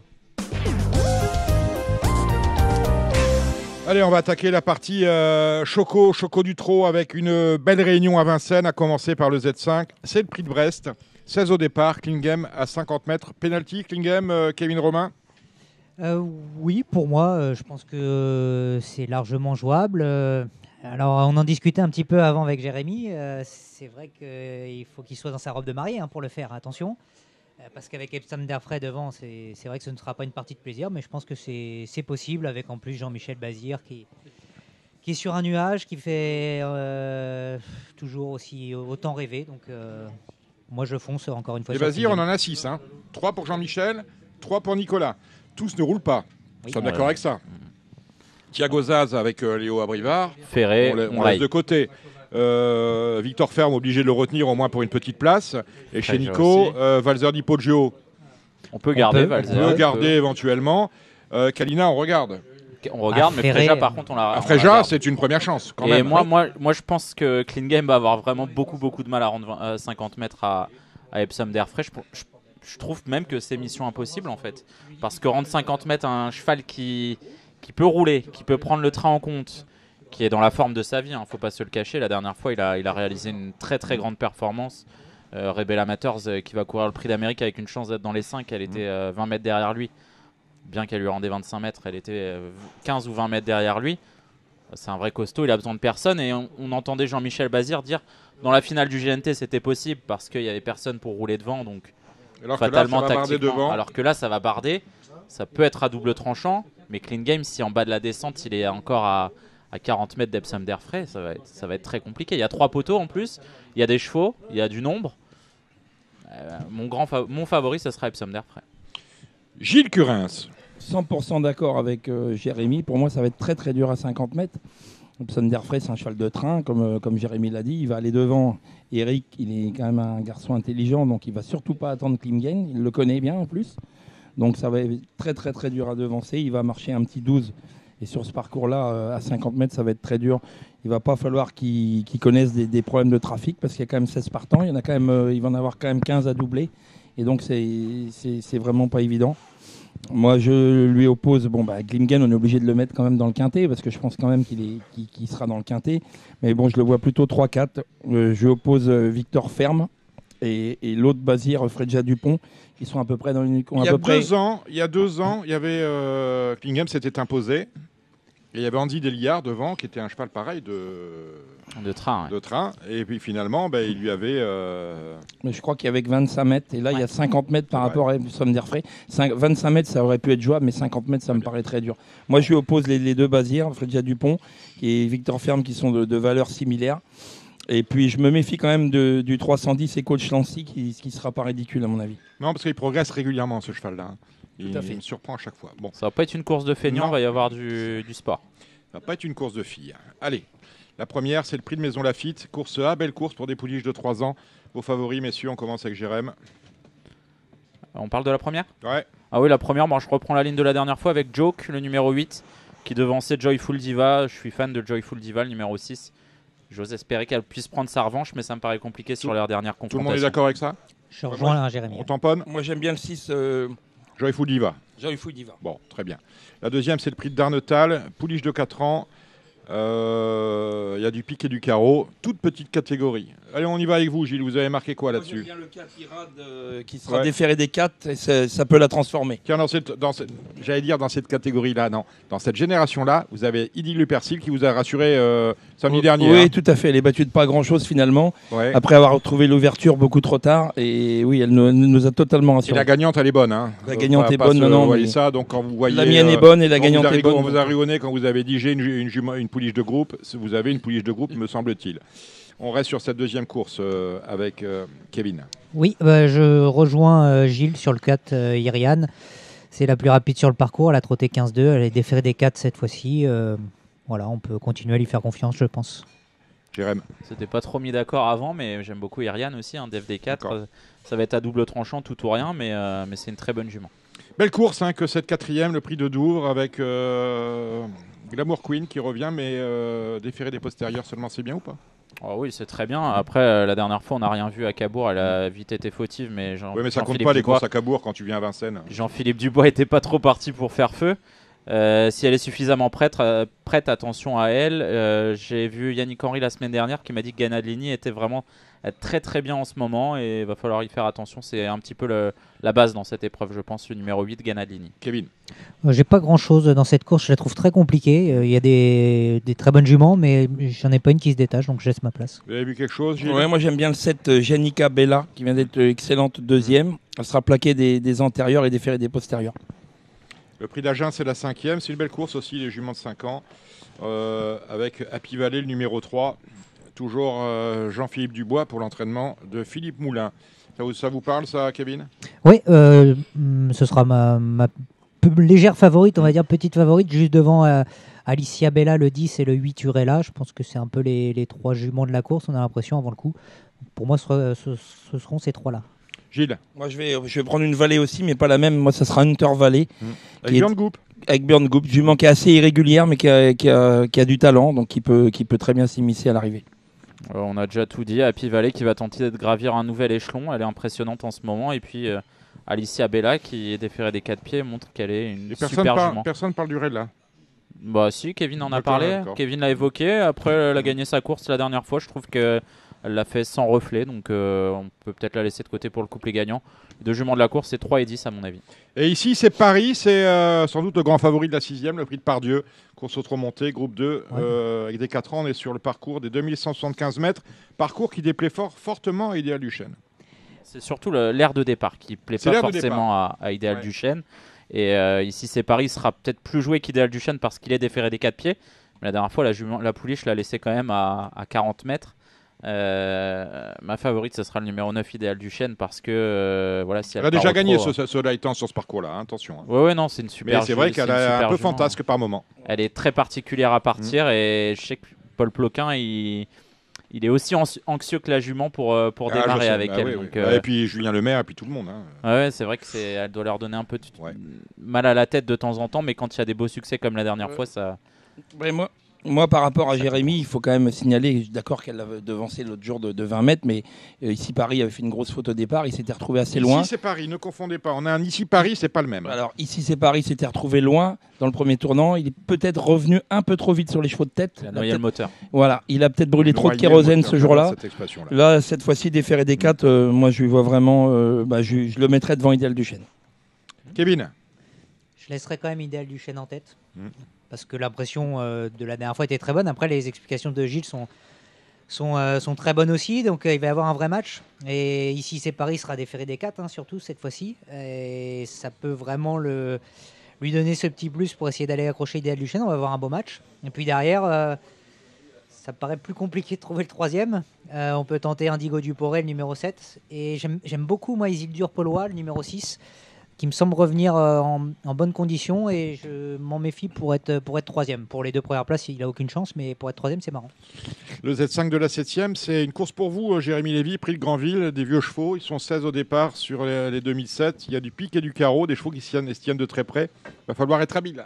Ouais, euh, je trouve que c'est une très belle occasion pour El Santo Fort de renouer avec les, les belles performances. Mais disons, il y a un petit cheval qui a gravi les échelons en ce moment, c'est Fandango la nuit. Mm. Il a gagné très plaisamment dans Philippe le. Boutin, Jean-Philippe Monclin. Ah oui, c'est un cheval qu'on a attendu, qui, euh, bah, qui a fait euh, les chemins de traverse. hein. Il, a, il a écumé la province avant de venir à Paris et il est vraiment impressionnant. C'est une course assez ouverte, des vieux chevaux qui, qui se tiennent d'assez près. Euh, Fandango la nuit, à mon avis, c'est un coup sûr à l'arrivée. Et euh, favori de Liton, j'aurais bien aimé le revoir à, à son bon niveau. C'est vrai qu'il a besoin de rassurer encore ce numéro 3, favori de Liton. Kevin. Euh, J'aime beaucoup Fandango la nuit. Euh, vraiment déféré, euh, c'est un top cheval. Je pense qu'il est capable de, de remporter une course comme celle-ci. Et j'aime beaucoup également Diablo, Diablo de Caponnet, le numéro 15, Ah, voilà. associé à Alexandre Brivard. Je pense que si tout se passe bien, il ne devrait pas sortir des 3-4 premiers. Ils ont, ils ont tout dit. Moi, je rajoute le 13 Elliott d'Ambry. Il faudra qu'il ait le bon parcours, mais il- à mon avis, il peut, le, il peut faire le multi. Le prix de la Beauce, c'est la huitième des 4 ans n'ayant pas gagné 50 000. Un lot, un lot qui tient la route, euh, Jérém. Ah oui, j'ai vu un cheval faire euh, une très belle rentrée, c'est le numéro 8. Impact Jet qui sera déféré des 4 pieds pour la première fois. Je pense que c'est le cheval de la course tout simplement. Euh, J'ai vu l'entourage de Yes We Can cette semaine à Vincennes. Il me disait que le cheval était très bien et que déférer des 4 ça pouvait beaucoup l'aider. Il y a Ibi Kidwell qui est un petit peu hors distance, c'est peut-être le meilleur poulain du lot, mais 2100 mètres pour un cheval qui aime bien dominer, je, je sais pas. pourquoi trop. Ibiki? Euh, C'est le whisky, non? Exactement, japonais. Kevin. J'ai pas grand-chose à Bon, rajouter. J'aime beaucoup Ibiki Dwell, euh, mais ouais, c'est pareil, le 9, 2100, euh, c'est un peu compliqué. Comme vous, messieurs. Voilà. Et on termine la neuvième. Il sera tard, presque 19h, avec euh, bah, une course aux montées européennes. La plus riche de la course. Elle débute, hein, c'est Yes Elisabeth. Gilles, vous avez vu quelque chose? Oui, moi j'aime beaucoup dans cette course. J'aime beaucoup dans cette course le 908 Granita Bella. C'est une course ouverte, mais la forme de, de Pierre Lévesque est là, donc euh, on va jouer la forme de Pierre Lévesque avec cette jument. Moi, je pense qu'Ayura Mazda Fond, sur ce qu'elle a montré la dernière fois, si elle est bien d'allure jusqu'au bout, euh, elle va gagner de, de loin, d'autant que piste plate, elle est encore meilleure. Idem. Idem. Euh, C'est le 905. Est-ce que quelqu'un a regardé Cordemais, messieurs Ouais, il y a pour une, finir attraction. Allez, on y va. Il y a une attraction. Bah, dans la première, je vais suivre le 105 Haute Sphère, Mhm. qui a été réclamé par Mathieu Mottier, qui a été, euh, qui a été euh, euh, très plaisante dans le réclamé à, à Vincennes et qui va évoluer pour la première fois sous l'entraînement de Mathieu Mottier, si je dis pas de bêtises.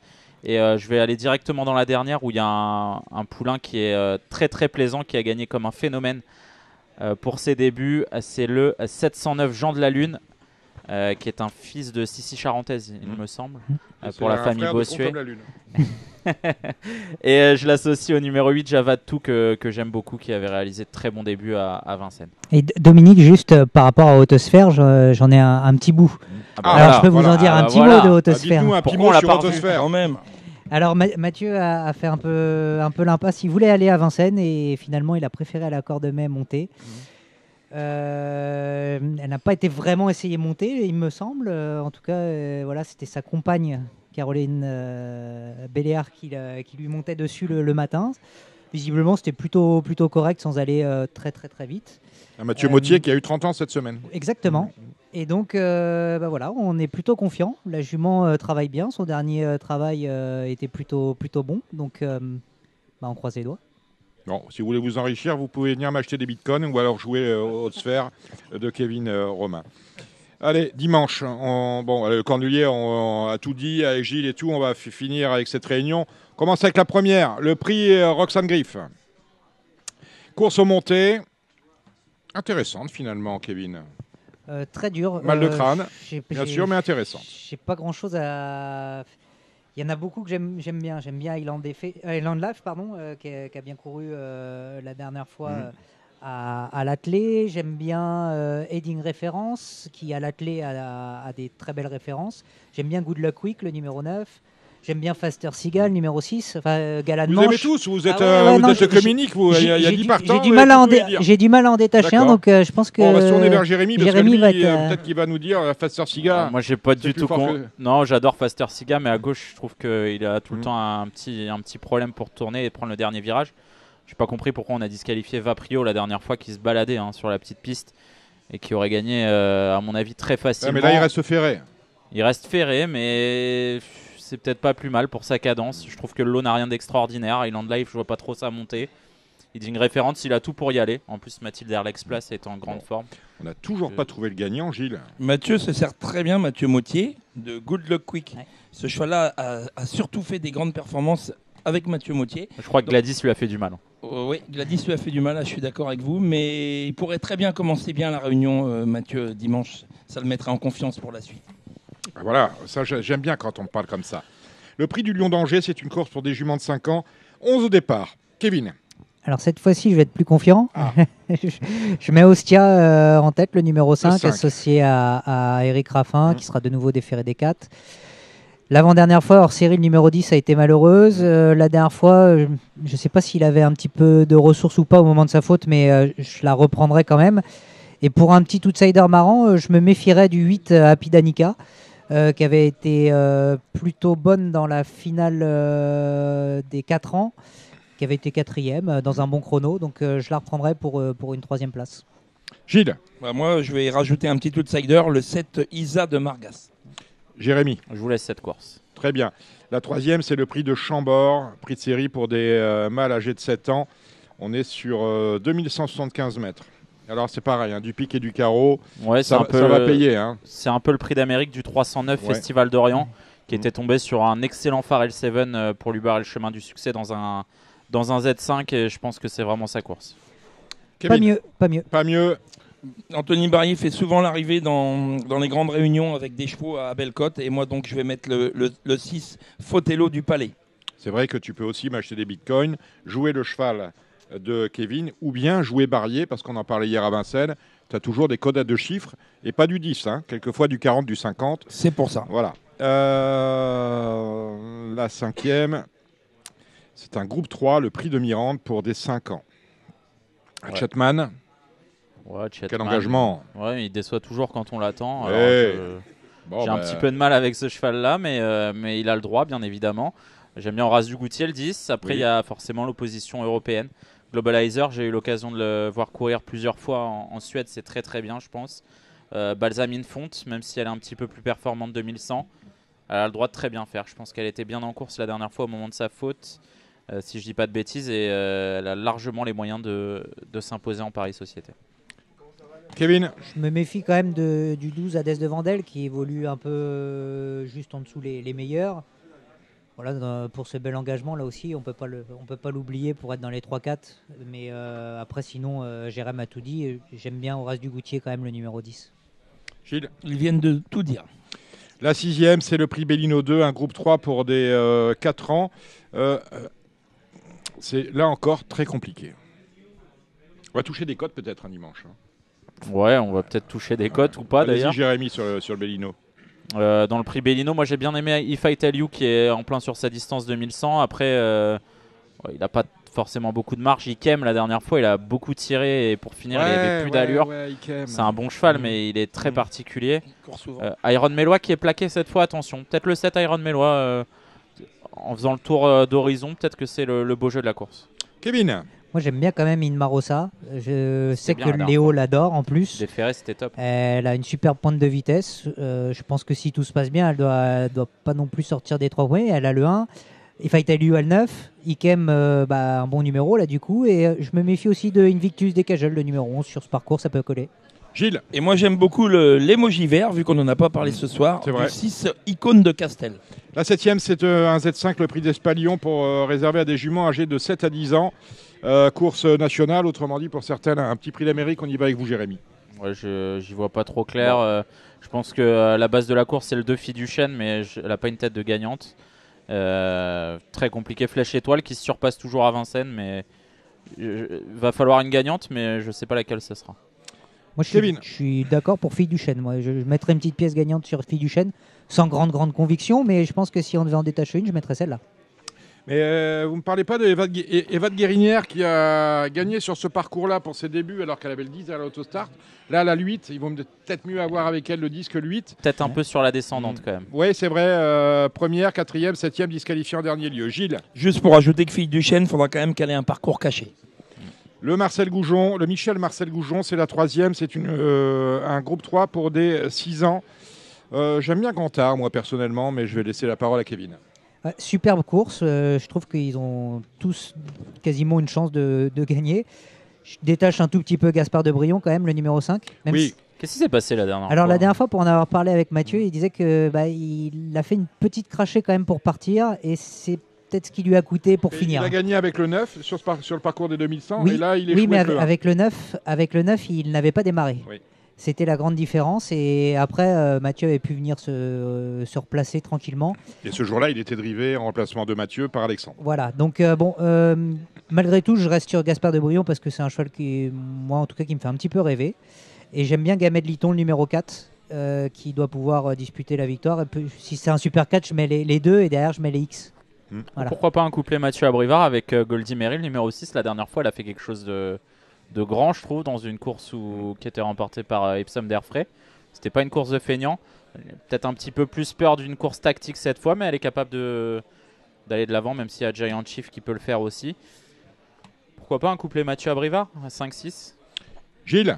Euh, J'étais avec euh, Gabi Gilormini hier soir. Il m'a dit que l'entourage de Grand Art était très confiant. Lui aussi il l'est, même si Gabi est toujours un petit Pas peu souvent confiant, Gabi. un petit peu un petit peu chaud. Alors je vais faire confiance à, à Gabi avec Grand Art le 7. Et on finira la journée de dimanche avec euh, les poulains de 3 ans et un certain Jaguar 8 peut-être. Ah, lui, c'est son prix d'Amérique, hein, Mhm. Jaguar 8, en plus sur un parcours euh, réduit qu'il apprécie. C'est un cheval un petit peu généreux, c'est ce qui lui manque parfois. Euh, Il y a Joyeux Mélois, ça va plaire à, à Gilles Curren, c'est un petit émoji vert. Et qui sera plaqué des quatre pieds. Lui, il a beaucoup d'atouts dans son jeu, il démarre très vite, il suit tous les trains. Après, il n'a pas forcément une grande marge de manœuvre. Kevin Ouais, je, je te rejoins sur ce que tu viens de dire, euh, Jérémy. Euh, Je rajouterais peut-être le 4, Jacques Cartas Després, euh, associé à, à Franck Nivard une nouvelle fois, mais j'ai pas de grande conviction dans cette course. Gilles. Eric Raffin va clôturer cette soirée par une victoire avec Jaguar 8. Et voilà, voilà qui est dit. Euh, euh, L'actualité des uns et des autres, euh, des partants euh, à Mm, partir de lundi Non, il faudra attendre fin départant, mais pas de rien de bien. Il faudra attendre Idylle du Persil dimanche prochain, le jour du prix d'Amérique. Ah, bah on en reparlera euh, la semaine prochaine. On va maintenant aller retrouver. Vous avez des partants, vous, euh, dans votre écurie? Euh, non, j'ai Rien Big du Up Marceau tout ce soir, mais euh, non, c'est pas, c'est Bon. calme en ce moment. Et euh, vous, à part Haute Sphère, on n'a rien qui passe dans la semaine? Non, Diva du Cailleux, je crois que c'est la, la fin. D'accord. Bon, on va aller poser la même question tout à l'heure, à- tout de suite, là maintenant, à Cédric Philippe. Vous êtes prêt, Cédric? On va faire le galop quand même.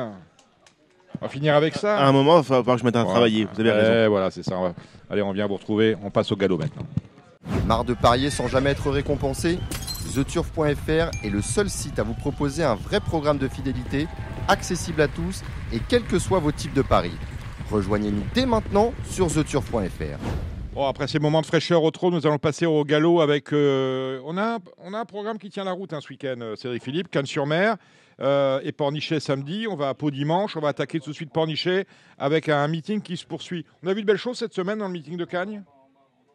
On est en échauffement, euh, Ouais. Dominique. On a vu des belles choses. On a vu des, des- des courses de jeunes chevaux, Mm. des, des 3 ans. On a vu euh, des lots, des chevaux qu'il faut revoir. C'est difficile d'être enthousiaste comme ça a priori. Mais on a vu, des, des- on a vu une piste malgré tout étonnamment souple Oui. sur le gazon, très très tôt. On a un, Alors, un pénotromètre à 4. Oui, Mm. donc on va plus quitter parce que les trous, on ne peut pas les laisser sécher. Donc on va rester sur une piste souple en permanence sur le gazon en espérant qu'il ne repleuve pas trop fort d'ici là. Parce que ça peut vite ve- devenir euh, très collant, très pénible, très tirant. Mais c'est étonnant d'avoir une piste aussi souple en début de meeting. J'étais euh, pour le moins surpris. Moi, les jockeys ont une propension à, à décorder naturellement, donc euh, la piste va être euh, uniformément a- abîmée assez rapidement. Mais euh, pour l'instant, mieux vaut rester en, dedans et pas trop voyager en épaisseur. Vous savez que si les planètes s'alignent, euh, Radio Balance ira à Cagnes euh, pour le dernier meeting, euh, le dernier week-end du mois de février. Ce sera le, le week-end du Grand Prix de Cagnes. Nous Du irons donc en cure. hein? Nous irons donc en cure. On ira, on ira en cure à Cagnes. Allez, on va attaquer avec cette réunion euh, cagnoise, c'est le samedi. Huit courses, on commence la première. C'est un réclamé pour des chevaux âgés de 4 ans et plus. C'est- une course euh, particulièrement difficile. J'ai inscrit euh, course injouable. Bon. Donc je veux de mal à personne. Ben, la deuxième, euh, c'est à vendre aussi. Ils sont tous à vendre. Ils sont 10 au départ. Ce sont des 3 ans. C'est un lot très moyen. Euh, si, on, si on doit jouer, le 3, euh, Tu- Tu Don Saloon, et le 8 Katuba, pour laquelle Mathieu Boutin a préféré cet engagement beaucoup plus facile qu'un handicap précédemment proposé. Donc, course facile. handicap de catégorie divisée, c'est la troisième. C'est une classe 3. Pour des chevaux de 4 ans et plus, sont 9 au départ. À l'eau d'une médiocrité assez rare, 8500 euros gagnants, euh, ce sera vraiment une belle opportunité à saisir pour tous ces choix-là. Le 7 euh, Siegfried me paraît offrir la meilleure garantie, mais là encore, c'est ni spéculatif ni très intéressant. On est entre la Ligue 1 et la Ligue 2 dans la quatrième, le prix de l'accro, une classe 2 sur la PSF, 1300 mètres. Il n'y a pas beaucoup de partants, il y a beaucoup de chevaux qui sont des, des chevaux de, qui sont pas vraiment des chevaux de vitesse. Euh, notamment Roquemont qui va être très en vue, mais qui est pas un petit plutôt un cheval de 1500 mètres selon moi. Celui qui est le plus dans son sport, c'est Las Wonderboy, écurie dans mon fort, une écurie très en forme. Un cheval qui, est vraiment, qui avait très bien entamé son meeting l'an passé sur ce même parcours. Je le pense capable de gagner ici. Las Wonderboy. Peut-être la plus belle de la Réunion, c'est la cinquième, une classe 1 euh, pour des euh, chevaux âgés de 3 ans. On est sur la PSF encore sur le mile. Ils viennent de tous horizons. C'est une course particulièrement difficile à, à jouer. Je trouve le, profil numéro 4 euh, assez original. Slazewek, c'est euh, une ville polonaise, je crois, euh, qui a d'ailleurs un hippodrome là-bas. Le 4 Slazewek, c'est un, poulain qui, euh, a vraiment un profil singulier pour Jean-Claude Rouget, parce qu'il a, parcouru, a couru sur des hippodromes pas vraiment très fashion, pas, nécessairement des hippodromes que Jean-Claude Rouget se plaît à fréquenter avec ses bons chevaux, mais un poulain qui, qui progresse et qui, lors de sa plus récente sortie, pour moi, était à réaliser pour, moi sa meilleure valeur. Un poulain en progrès. Il a l'avantage d'avoir pas mal d'expérience par rapport à pas mal de rivaux qui sont certes peut-être euh, estimés, mais moins aguerris que lui. Voilà pourquoi il aura mes faveurs, mais avec euh, beaucoup de timidité. La sixième, c'est la première épreuve du handicap euh, divisé. Ils sont neuf au départ. C'est fou, c'est qu'on n'a pas fait le plein. On a, on a un handicap, ouais, c'est- parce que je, ouais. on a un handicap divisé. C'est là où on voit quand même que la filière va pas très bien. Quand, ils- quand ils sont deux, on fait handicap divisé un dans chaque course. Comment ça se passe? Parce qu'on Ouais. aurait pu éventuellement ne pas diviser le handicap. À un moment, faire trois, trois épreuves en le mettant, en remplissant aussi peu, oui, je suis d'accord avec vous, mais ça, ça trahit surtout, parce que c'était prévu ces trois épreuves, donc on ne pouvait pas les annuler. Il aurait vraiment fallu qu'ils soient fort peu, mais ça tra- trahit quand même du fait que, en termes de chevaudage, le réservoir s'appauvrit progressivement, puisque ils ne sont par définition plus rentables et les entraîneurs n'ont plus les moyens de les prendre. Donc quand les, propriétaires les abandonnent le projet bah, en, en- en calculant, hein, donc on se rend compte que le- les chevaux ne sont plus rentables, les propriétaires, euh, les, en- les entraîneurs ont une propension à se substituer à ceux-ci, mais juste dans la mesure du possible. Et là, on voit qu'il y a de moins en moins quand même de propriétaires pour les joue qui? Las Greenview et le 7 Siglo d'Euro. Siglo d'Euro ma préférence, mais j'ai une très. bah, je suis un peu scept- sceptique et curieux de la monte. Bah, On les connaît pas. euh. Qui sont ces gens? Bah, je- on verra Qui ça. sont ces gens? Alors, euh, je ne les connais pas. Alors, l'en- l'en- l'entraîneur, c'est Madame, euh, Mademoiselle Koplikova. Elle fait courir qu'en France, Oui, a oui, priori. oui, c'est une femme Et tchèque. euh, la cavalière, c'est Mademoiselle Vandula Korekova, euh, qui, euh, bah, qui a couru cinq fois chez nous, qui a gagné à Deauville le 23 décembre. Oui, dans une course qui était, qui était euh, un très bon engagement, une course à condition. Mhm. Elle, était partie, elle avait bénéficié de la monte, elle montait un ancien Fabre qui était Mhm. très bien engagé ici, donc elle pouvait gagner. Mais voilà, c'est quelqu'un quand même qui a assez peu d'expérience sur notre sol. C'est un peu ma réserve, mais avant le coup, je m'aime bien le 7 Siglo d'Euro et le Las Greenview. D'accord. C'est un handicap, la, la septième, 11 partants. Le 5 Campello me paraît correctement placé au poids pour ses débuts dans le handicap. Et je vous invite à reprendre impérativement le 3,70 qui était très chuchoté à Saint-Cloud et qui n'a pas du tout apprécié la piste lourde ce jour-là. On reste avec des 3 ans dans le prix de la promenade des, Ang- des Anglais, un handicap.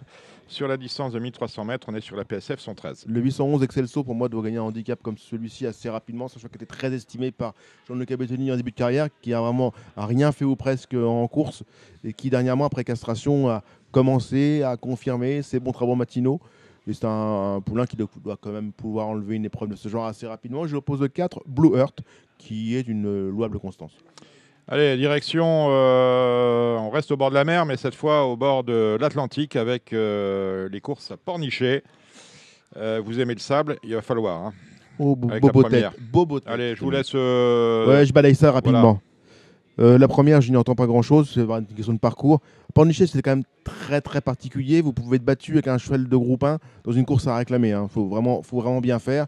Avoir un jockey qui connaît bien l'hippodrome et un cheval qui, sait tourner dans une assiette. Donc la première, j'oublie. La deuxième, on peut s'amuser à essayer le 9 Mangoulin pour une grosse cote.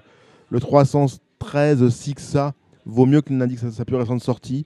La cinquième, qui était un peu le temps fort de la Réunion, un Méden de- des 3 ans, où on peut avoir un futur bon élément au départ de cette course.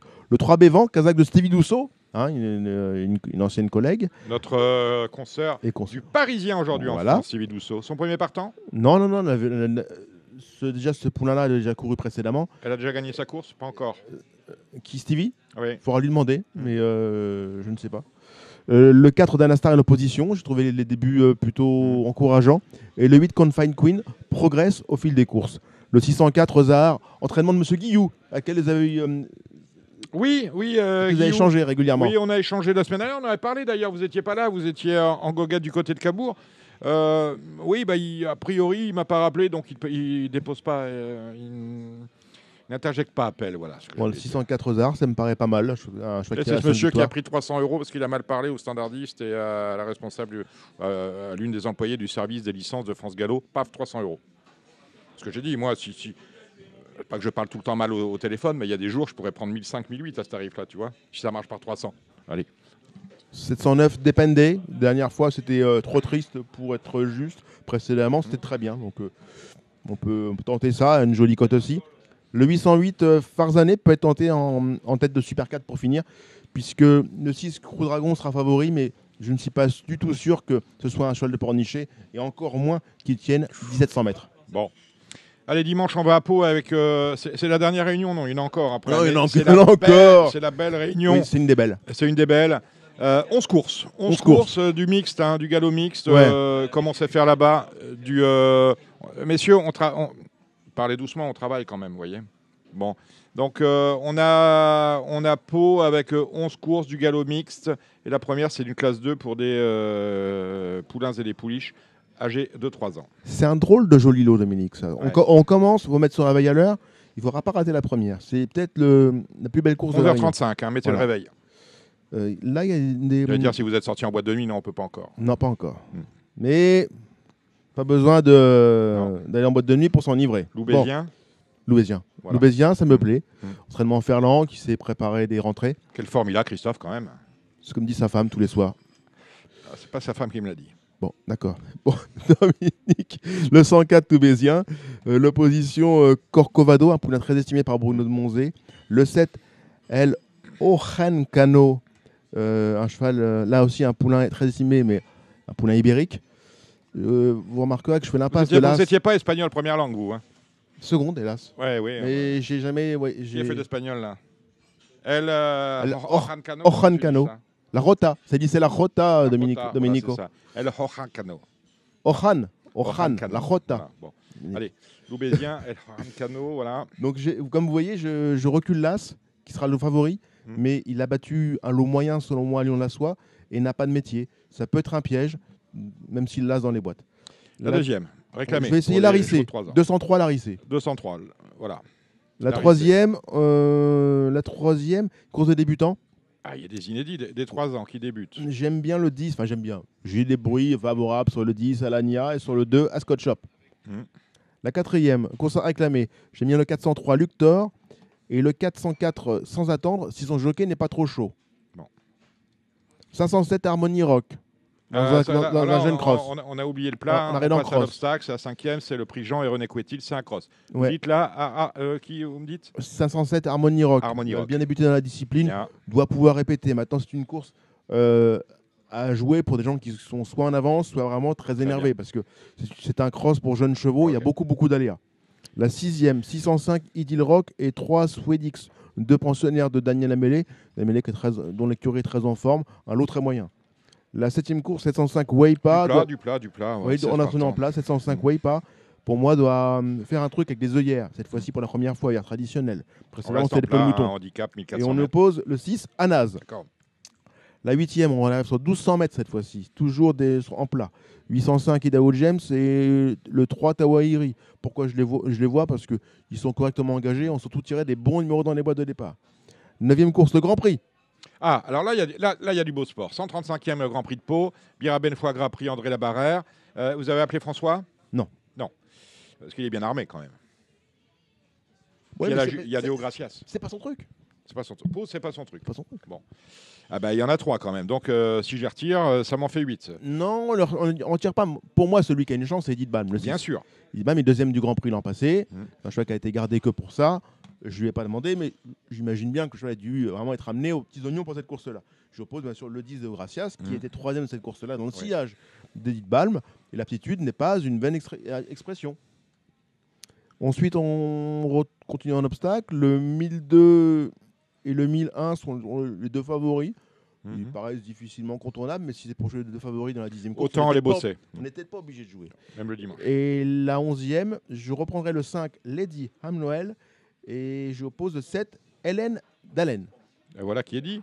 Euh, on va à Cannes-sur-Mer lundi. Vous avez jeté un œil, bien sûr. Évidemment. Euh, Le évidemment. prix du. Languedoc. On est sur euh, 2000 mètres, sable fibré, PSF. On a Business Plan qui est revenu. C'est fou.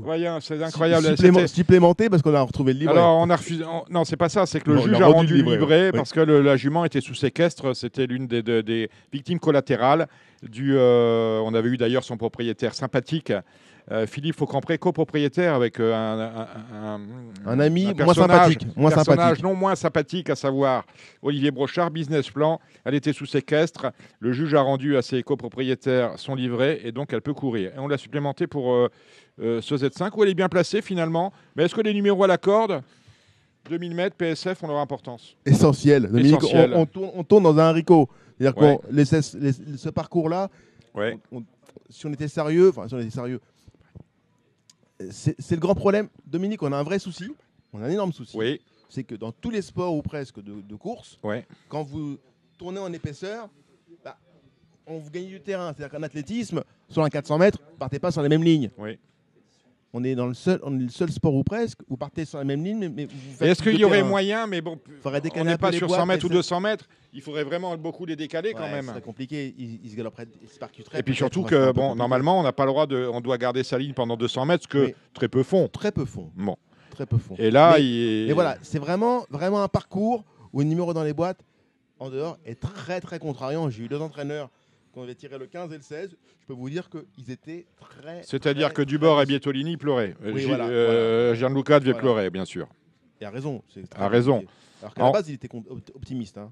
Mais voilà, ce numéro-là Mm. est quasiment rédhibitoire. En revanche, il a rentre quand il a vu le 5. il a- Ré- Jérôme Régnier devait voilà, être content. Voilà. Hein. Euh, les, les- deux se roulent, ça peut être Mm. bien dans la course. hein. Qu'est-ce qui se passe chez Nicolas Caudry C'est euh, la forme est. euh, C'est coup-ci, coup-ça. C'est coup-ci, hein. coup-ça. hein. Et avec Innovator, est-ce qu'on va. Ouais, il, cou- il court rapproché, il court à 5 jours. C'est Il ça. a, il a bien fini. Mais c'est ça un meeting, il faut courir rapproché. Il, il est bien engagé malgré tout parce que cheval est en forme. il a Dernière victoire de Nicolas, 19 novembre à Chantilly. pas- 2021, rassurez-moi, parce que je vous faites une, faites une grande grimace. Pardon? 2021, rassurez-moi. 2021, Ouais, bien sûr. Je vous ai vu grimacer. Mais il y, a, c'est pas le il y a- pire. il y a 80 courses. Il a l'écart Ouais. 80 en termes- en termes de victoire. Vous allez voir quand il va commencer à les gagner. Pan, pan, pan. Voilà. D'accord. On dirait, on dirait vous aux grandes heures. Watch him. Mm. Voilà, Pan, pan, pan. Vous avez eu Christophe Ferland ou pas? C'est euh, Florent Guy Florent Guy. Et qu'il a eu, et il vous a dit quoi? Qui l'avait eu. Qu'il avait eu. Bon. Vous voilà. ces De Ferland dans la course à Biassor. Donc on part, on part de quoi? Vous l'avez pas dit toujours. Non, toujours pas. Bon, dis- on part de quoi? On parle de quoi ou on part de On quoi part de quoi? On part de. Je me permets, hein, Oui, Dominique. je les ai classés dans l'ordre du départ. Je vois îlot secret numéro 10. Îlot secret numéro 10. Je trouve Mathieu que le, Brame le avec, 8, euh, Christophe le Soumillon. 8 dernièrement, le 8 dernièrement a fait un truc euh, pas, Margent. pas commun. Le 8 Jamais Margent. 203. Si c'est compté jusqu'à 3, ça peut être bien. Ça peut Antoine être de bien. Ça peut être très bien. Voilà, c'est mes deux chevaux. D'accord. 10 Ça et vous 8, va ce sont les deux chevaux de Cédric Philippe. Bon, bah, très bien. Et il y a dans la Réunion, il y a un petit Forési qui un cheval d'âge qui doit avoir 9 ans, Oui. qui reste débute sur- non, Ah, oui, pardon. non, qui fait une rentrée. Il fait une Non, rentrée. Ah, voilà. Non, non, non, non, mais voilà. Je plaisante, un cheval Ouais. qui, a, qui a pas mal de courses D'accord. euh, récentes dans Bon. les jambes, mais qui reste sur pas mal de bulles. Un cheval à suivre. Bon, très bien. Sur, Merci. 2400, sur 2400 mètres. Son nom m'échappe, mais vous regarderez. euh, Merci euh, Cédric Philippe. On vous retrouve hein, dans le making of. hein. Il est en ligne. Vous pouvez aller. euh, on peut vous, vous écouter. Vous allez nous parler prix d'Amérique parce que vous êtes un homme éclectique, un véritable homme orchestre. Et je vais parler Le Rémi Bricard, parler le Rémi. Mayennais aussi. Pardon Je vais parler aussi avec les Mayennais. Vous en Bah, rassurez. vous avez- Je sais que vous avez pas bien parlé le Mayennais. Oui.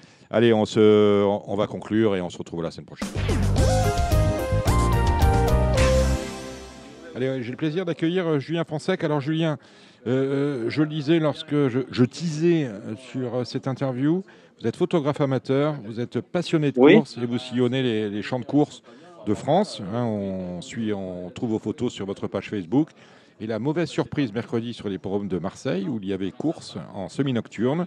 Vous prenez le TGV à Paris, vous allez à Marseille, parce Oui. que vous aviez envie d'aller à Marseille. Et là, à l'entrée, on vous refuse l'entrée, on vous, retrouve, on, on vous refuse l'accès à l'hippodrome. Racontez-moi. Oui, c'est oui, c'est ça. Euh, Je vais profiter de ma journée de repos de mercredi euh, pour faire un tour à Marseille, euh, sachant qu'il y avait les courses l'après-midi. Je me suis dit, euh, je suis souvent allé à Marseille, c'est une occasion d'aller voir euh, les courses à Marseille le soir, voir encourager quelques personnes que je connais dans le sud-est. Et là, j'ai la mauvaise surprise que quand j'arrive à l'hippodrome, on me dit, on arrive, bah, je prends une photo de, du bâtiment, histoire de dire, histoire de raconter mes aventures, de dire oui, je suis devant l'hippodrome de Vivo, je rentre. Je rentre un peu tôt et là, il y a des personnes de la sécurité qui me font pas de journaliste, pas de journaliste, pas de journaliste, pas de photographe. Alors, euh, Et, pour- peu- pourquoi, et pourquoi? Bah, je sais pas justement, c'est la première fois de ma vie euh, que j'arrive sur un hippodrome et qu'on m'accueille avec euh, pas de journaliste, pas de journaliste, pas de photographe, pas de photo. Vous euh, étiez, vous étiez pas entré dans l'hippodrome encore. hein? Non, non, non, j'étais pas rentré, j'étais devant les grilles. Justement, je- j'avais sorti euh, mon passe vaccinal, euh, mon passe sanitaire pour entrer sur l'hippodrome. euh, je Il montrais faut pas de blanche. préciser que sur l'hippodrome de Marseille-Vivo, l'entrée était libre, gratuite hein, pour tous les parieurs. Oui, oui, il y avait des personnes de la sécurité en fait qui m'ont bloqué l'accès Mhm. et euh, qui contrôlaient les passes, ce qui est totalement normal. Euh, moi, j'avais j'avais sorti mon passe sanitaire totalement valide, pensant rentrer sur l'hippodrome euh, normalement. Et là, j'arrive et les gars de la sécurité m'ont fait pas de journaliste, pas de journaliste, ils ont insisté, pas de pas de photographe. Euh, après, je leur explique pourquoi. Je fais l'hippodrome n'est pas encore ouvert. Euh, je suis arrivé vraiment de bonne heure. Ils m'ont dit euh, oui, ben on ouvre au public à 15h30. Alors je me suis dit bon, j'ai un peu râlé, euh, mais euh, normalement. Et après, j'ai attendu, euh, j'ai attendu 15h, 15h30, et là, je voyais qu'il y avait des personnes qui rentraient sans problème, et que moi, on me refusait l'accès. Donc, euh, je comprenais pas. J'ai demandé à la garde de sécurité est-ce que je peux entrer sur l'hippodrome. Il fait non, non, il n'y a pas de journaliste aujourd'hui, euh, pas de photographe. Et vous leur avez, vous leur avez dit que vous n'étiez ni je- photographe ni journaliste, que vous étiez. non, non, euh, je- ouais, j'ai exactement. Donc du coup, j'ai discuté avec eux pour, euh, je leur ai montré mon Facebook et compagnie. Enfin, j'ai essayé d'appeler euh, Monsieur Tardy, le, euh, le le- le président. nouveau, le nouveau président en remplacement de Oui, qui est le nouveau de la président hippique de euh, Marseille. de- exactement, et que j'avais en contact euh, dans mes amis Facebook. Euh, je lui ai envoyé un message. euh, J'ai écrit euh, désespérément euh, à mes amis Facebook que je suis bloqué à l'hippodrome. Euh, donc euh, bah là, j'ai croisé une personne qui euh, rentrait travailler sur l'hippodrome et je lui ai expliqué ma situation. Du coup, il m'a donné le numéro de téléphone de Monsieur Carpentier, qui est directeur de l'hippodrome. Euh, j'ai appelé directement euh, Monsieur Carpentier pour montrer pas de blanche, pour dire que je suis qu'un passionné de course. Euh, Je suis là dans les bonnes intentions. Je suis pas là pour euh, dénigrer le sport hippique. Je suis juste là euh, pour passer ma journée de repos et aller assister aux courses et faire des photos comme n'importe qui. Euh, alors, euh, du coup, euh, Monsieur Carpentier arrive devant moi. Alors moi, je lui explique ma situation, euh, je lui montre mon téléphone portable, je lui dis juste que je suis un amateur et tout ça. Et euh, il m'explique euh, que non, aujourd'hui, il n'y a pas de journaliste, pas de photographe. Alors que le, le, le journaliste de Pariteur fait passer devant moi. hein. Il est arrivé, il a dit je bosse quelle- pour Pariteur, quelle- pas de problème. justification ont-ils pu vous donner en- euh, avec cet argument qui consiste à dire euh, pas de photographe, pas de journaliste sur l'hippodrome Pourquoi? Bah, alors, il y a un truc qui m'interpelle sur euh, de, de Marseille et en particulier à Monsieur Carpentier. C'est que du coup, je lui ai montré mon Facebook et tout ça et qu'il y a des personnes euh, qui ont qui ont bien attesté que j'étais, euh, qui me connaissaient des socioprofessionnels notamment, comme quoi que j'étais un amateur qui me connaissait et que j'étais pas du tout journaliste, pas du tout photographe. Euh, donc euh, je lui ai dit bah enquêtez sur moi, j'ai pas de blanche, euh, je connais des gens dans, le milieu, vous pouvez leur demander tout ça. Il y a des personnes qui sont intervenues, dont notamment un, entraîneur bien connu et reconnu dans, le sud-est et, et quelques personnes. Donc du coup il part, je suis sans nouvelles.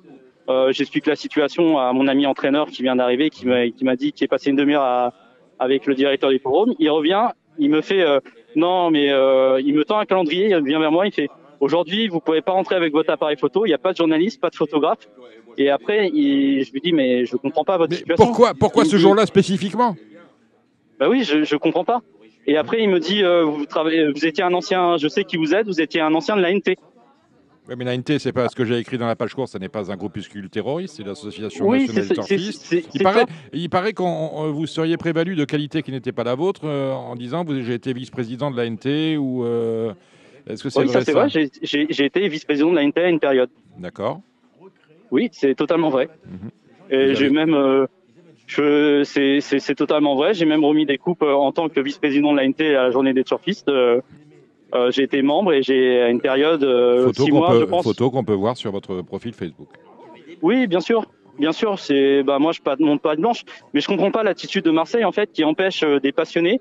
Euh, moi je leur ai dit, je suis quelqu'un du public, je vais du côté public, je fais des photos, je dénigre pas du tout les courses. Sur tous les hippodromes euh, de France et même d'Europe, euh, j'ai fait, euh, bah j'ai fait, je suis venu en tant que passionné de course à faire des photos. Et je comprends pas pourquoi Marseille, euh, surtout les gars de la sécurité, criaient pas de journaliste, pas de photographe. Alors j'ai regardé Monsieur le Président, je lui ai dit mais est-ce que ça a un rapport avec l'affaire euh, avec l'affaire Rossi, les affaires de dopage et tout ça? Euh, et, je comprends pas aussi pourquoi il me il, il me précise que j'étais un ancien de l'ANT.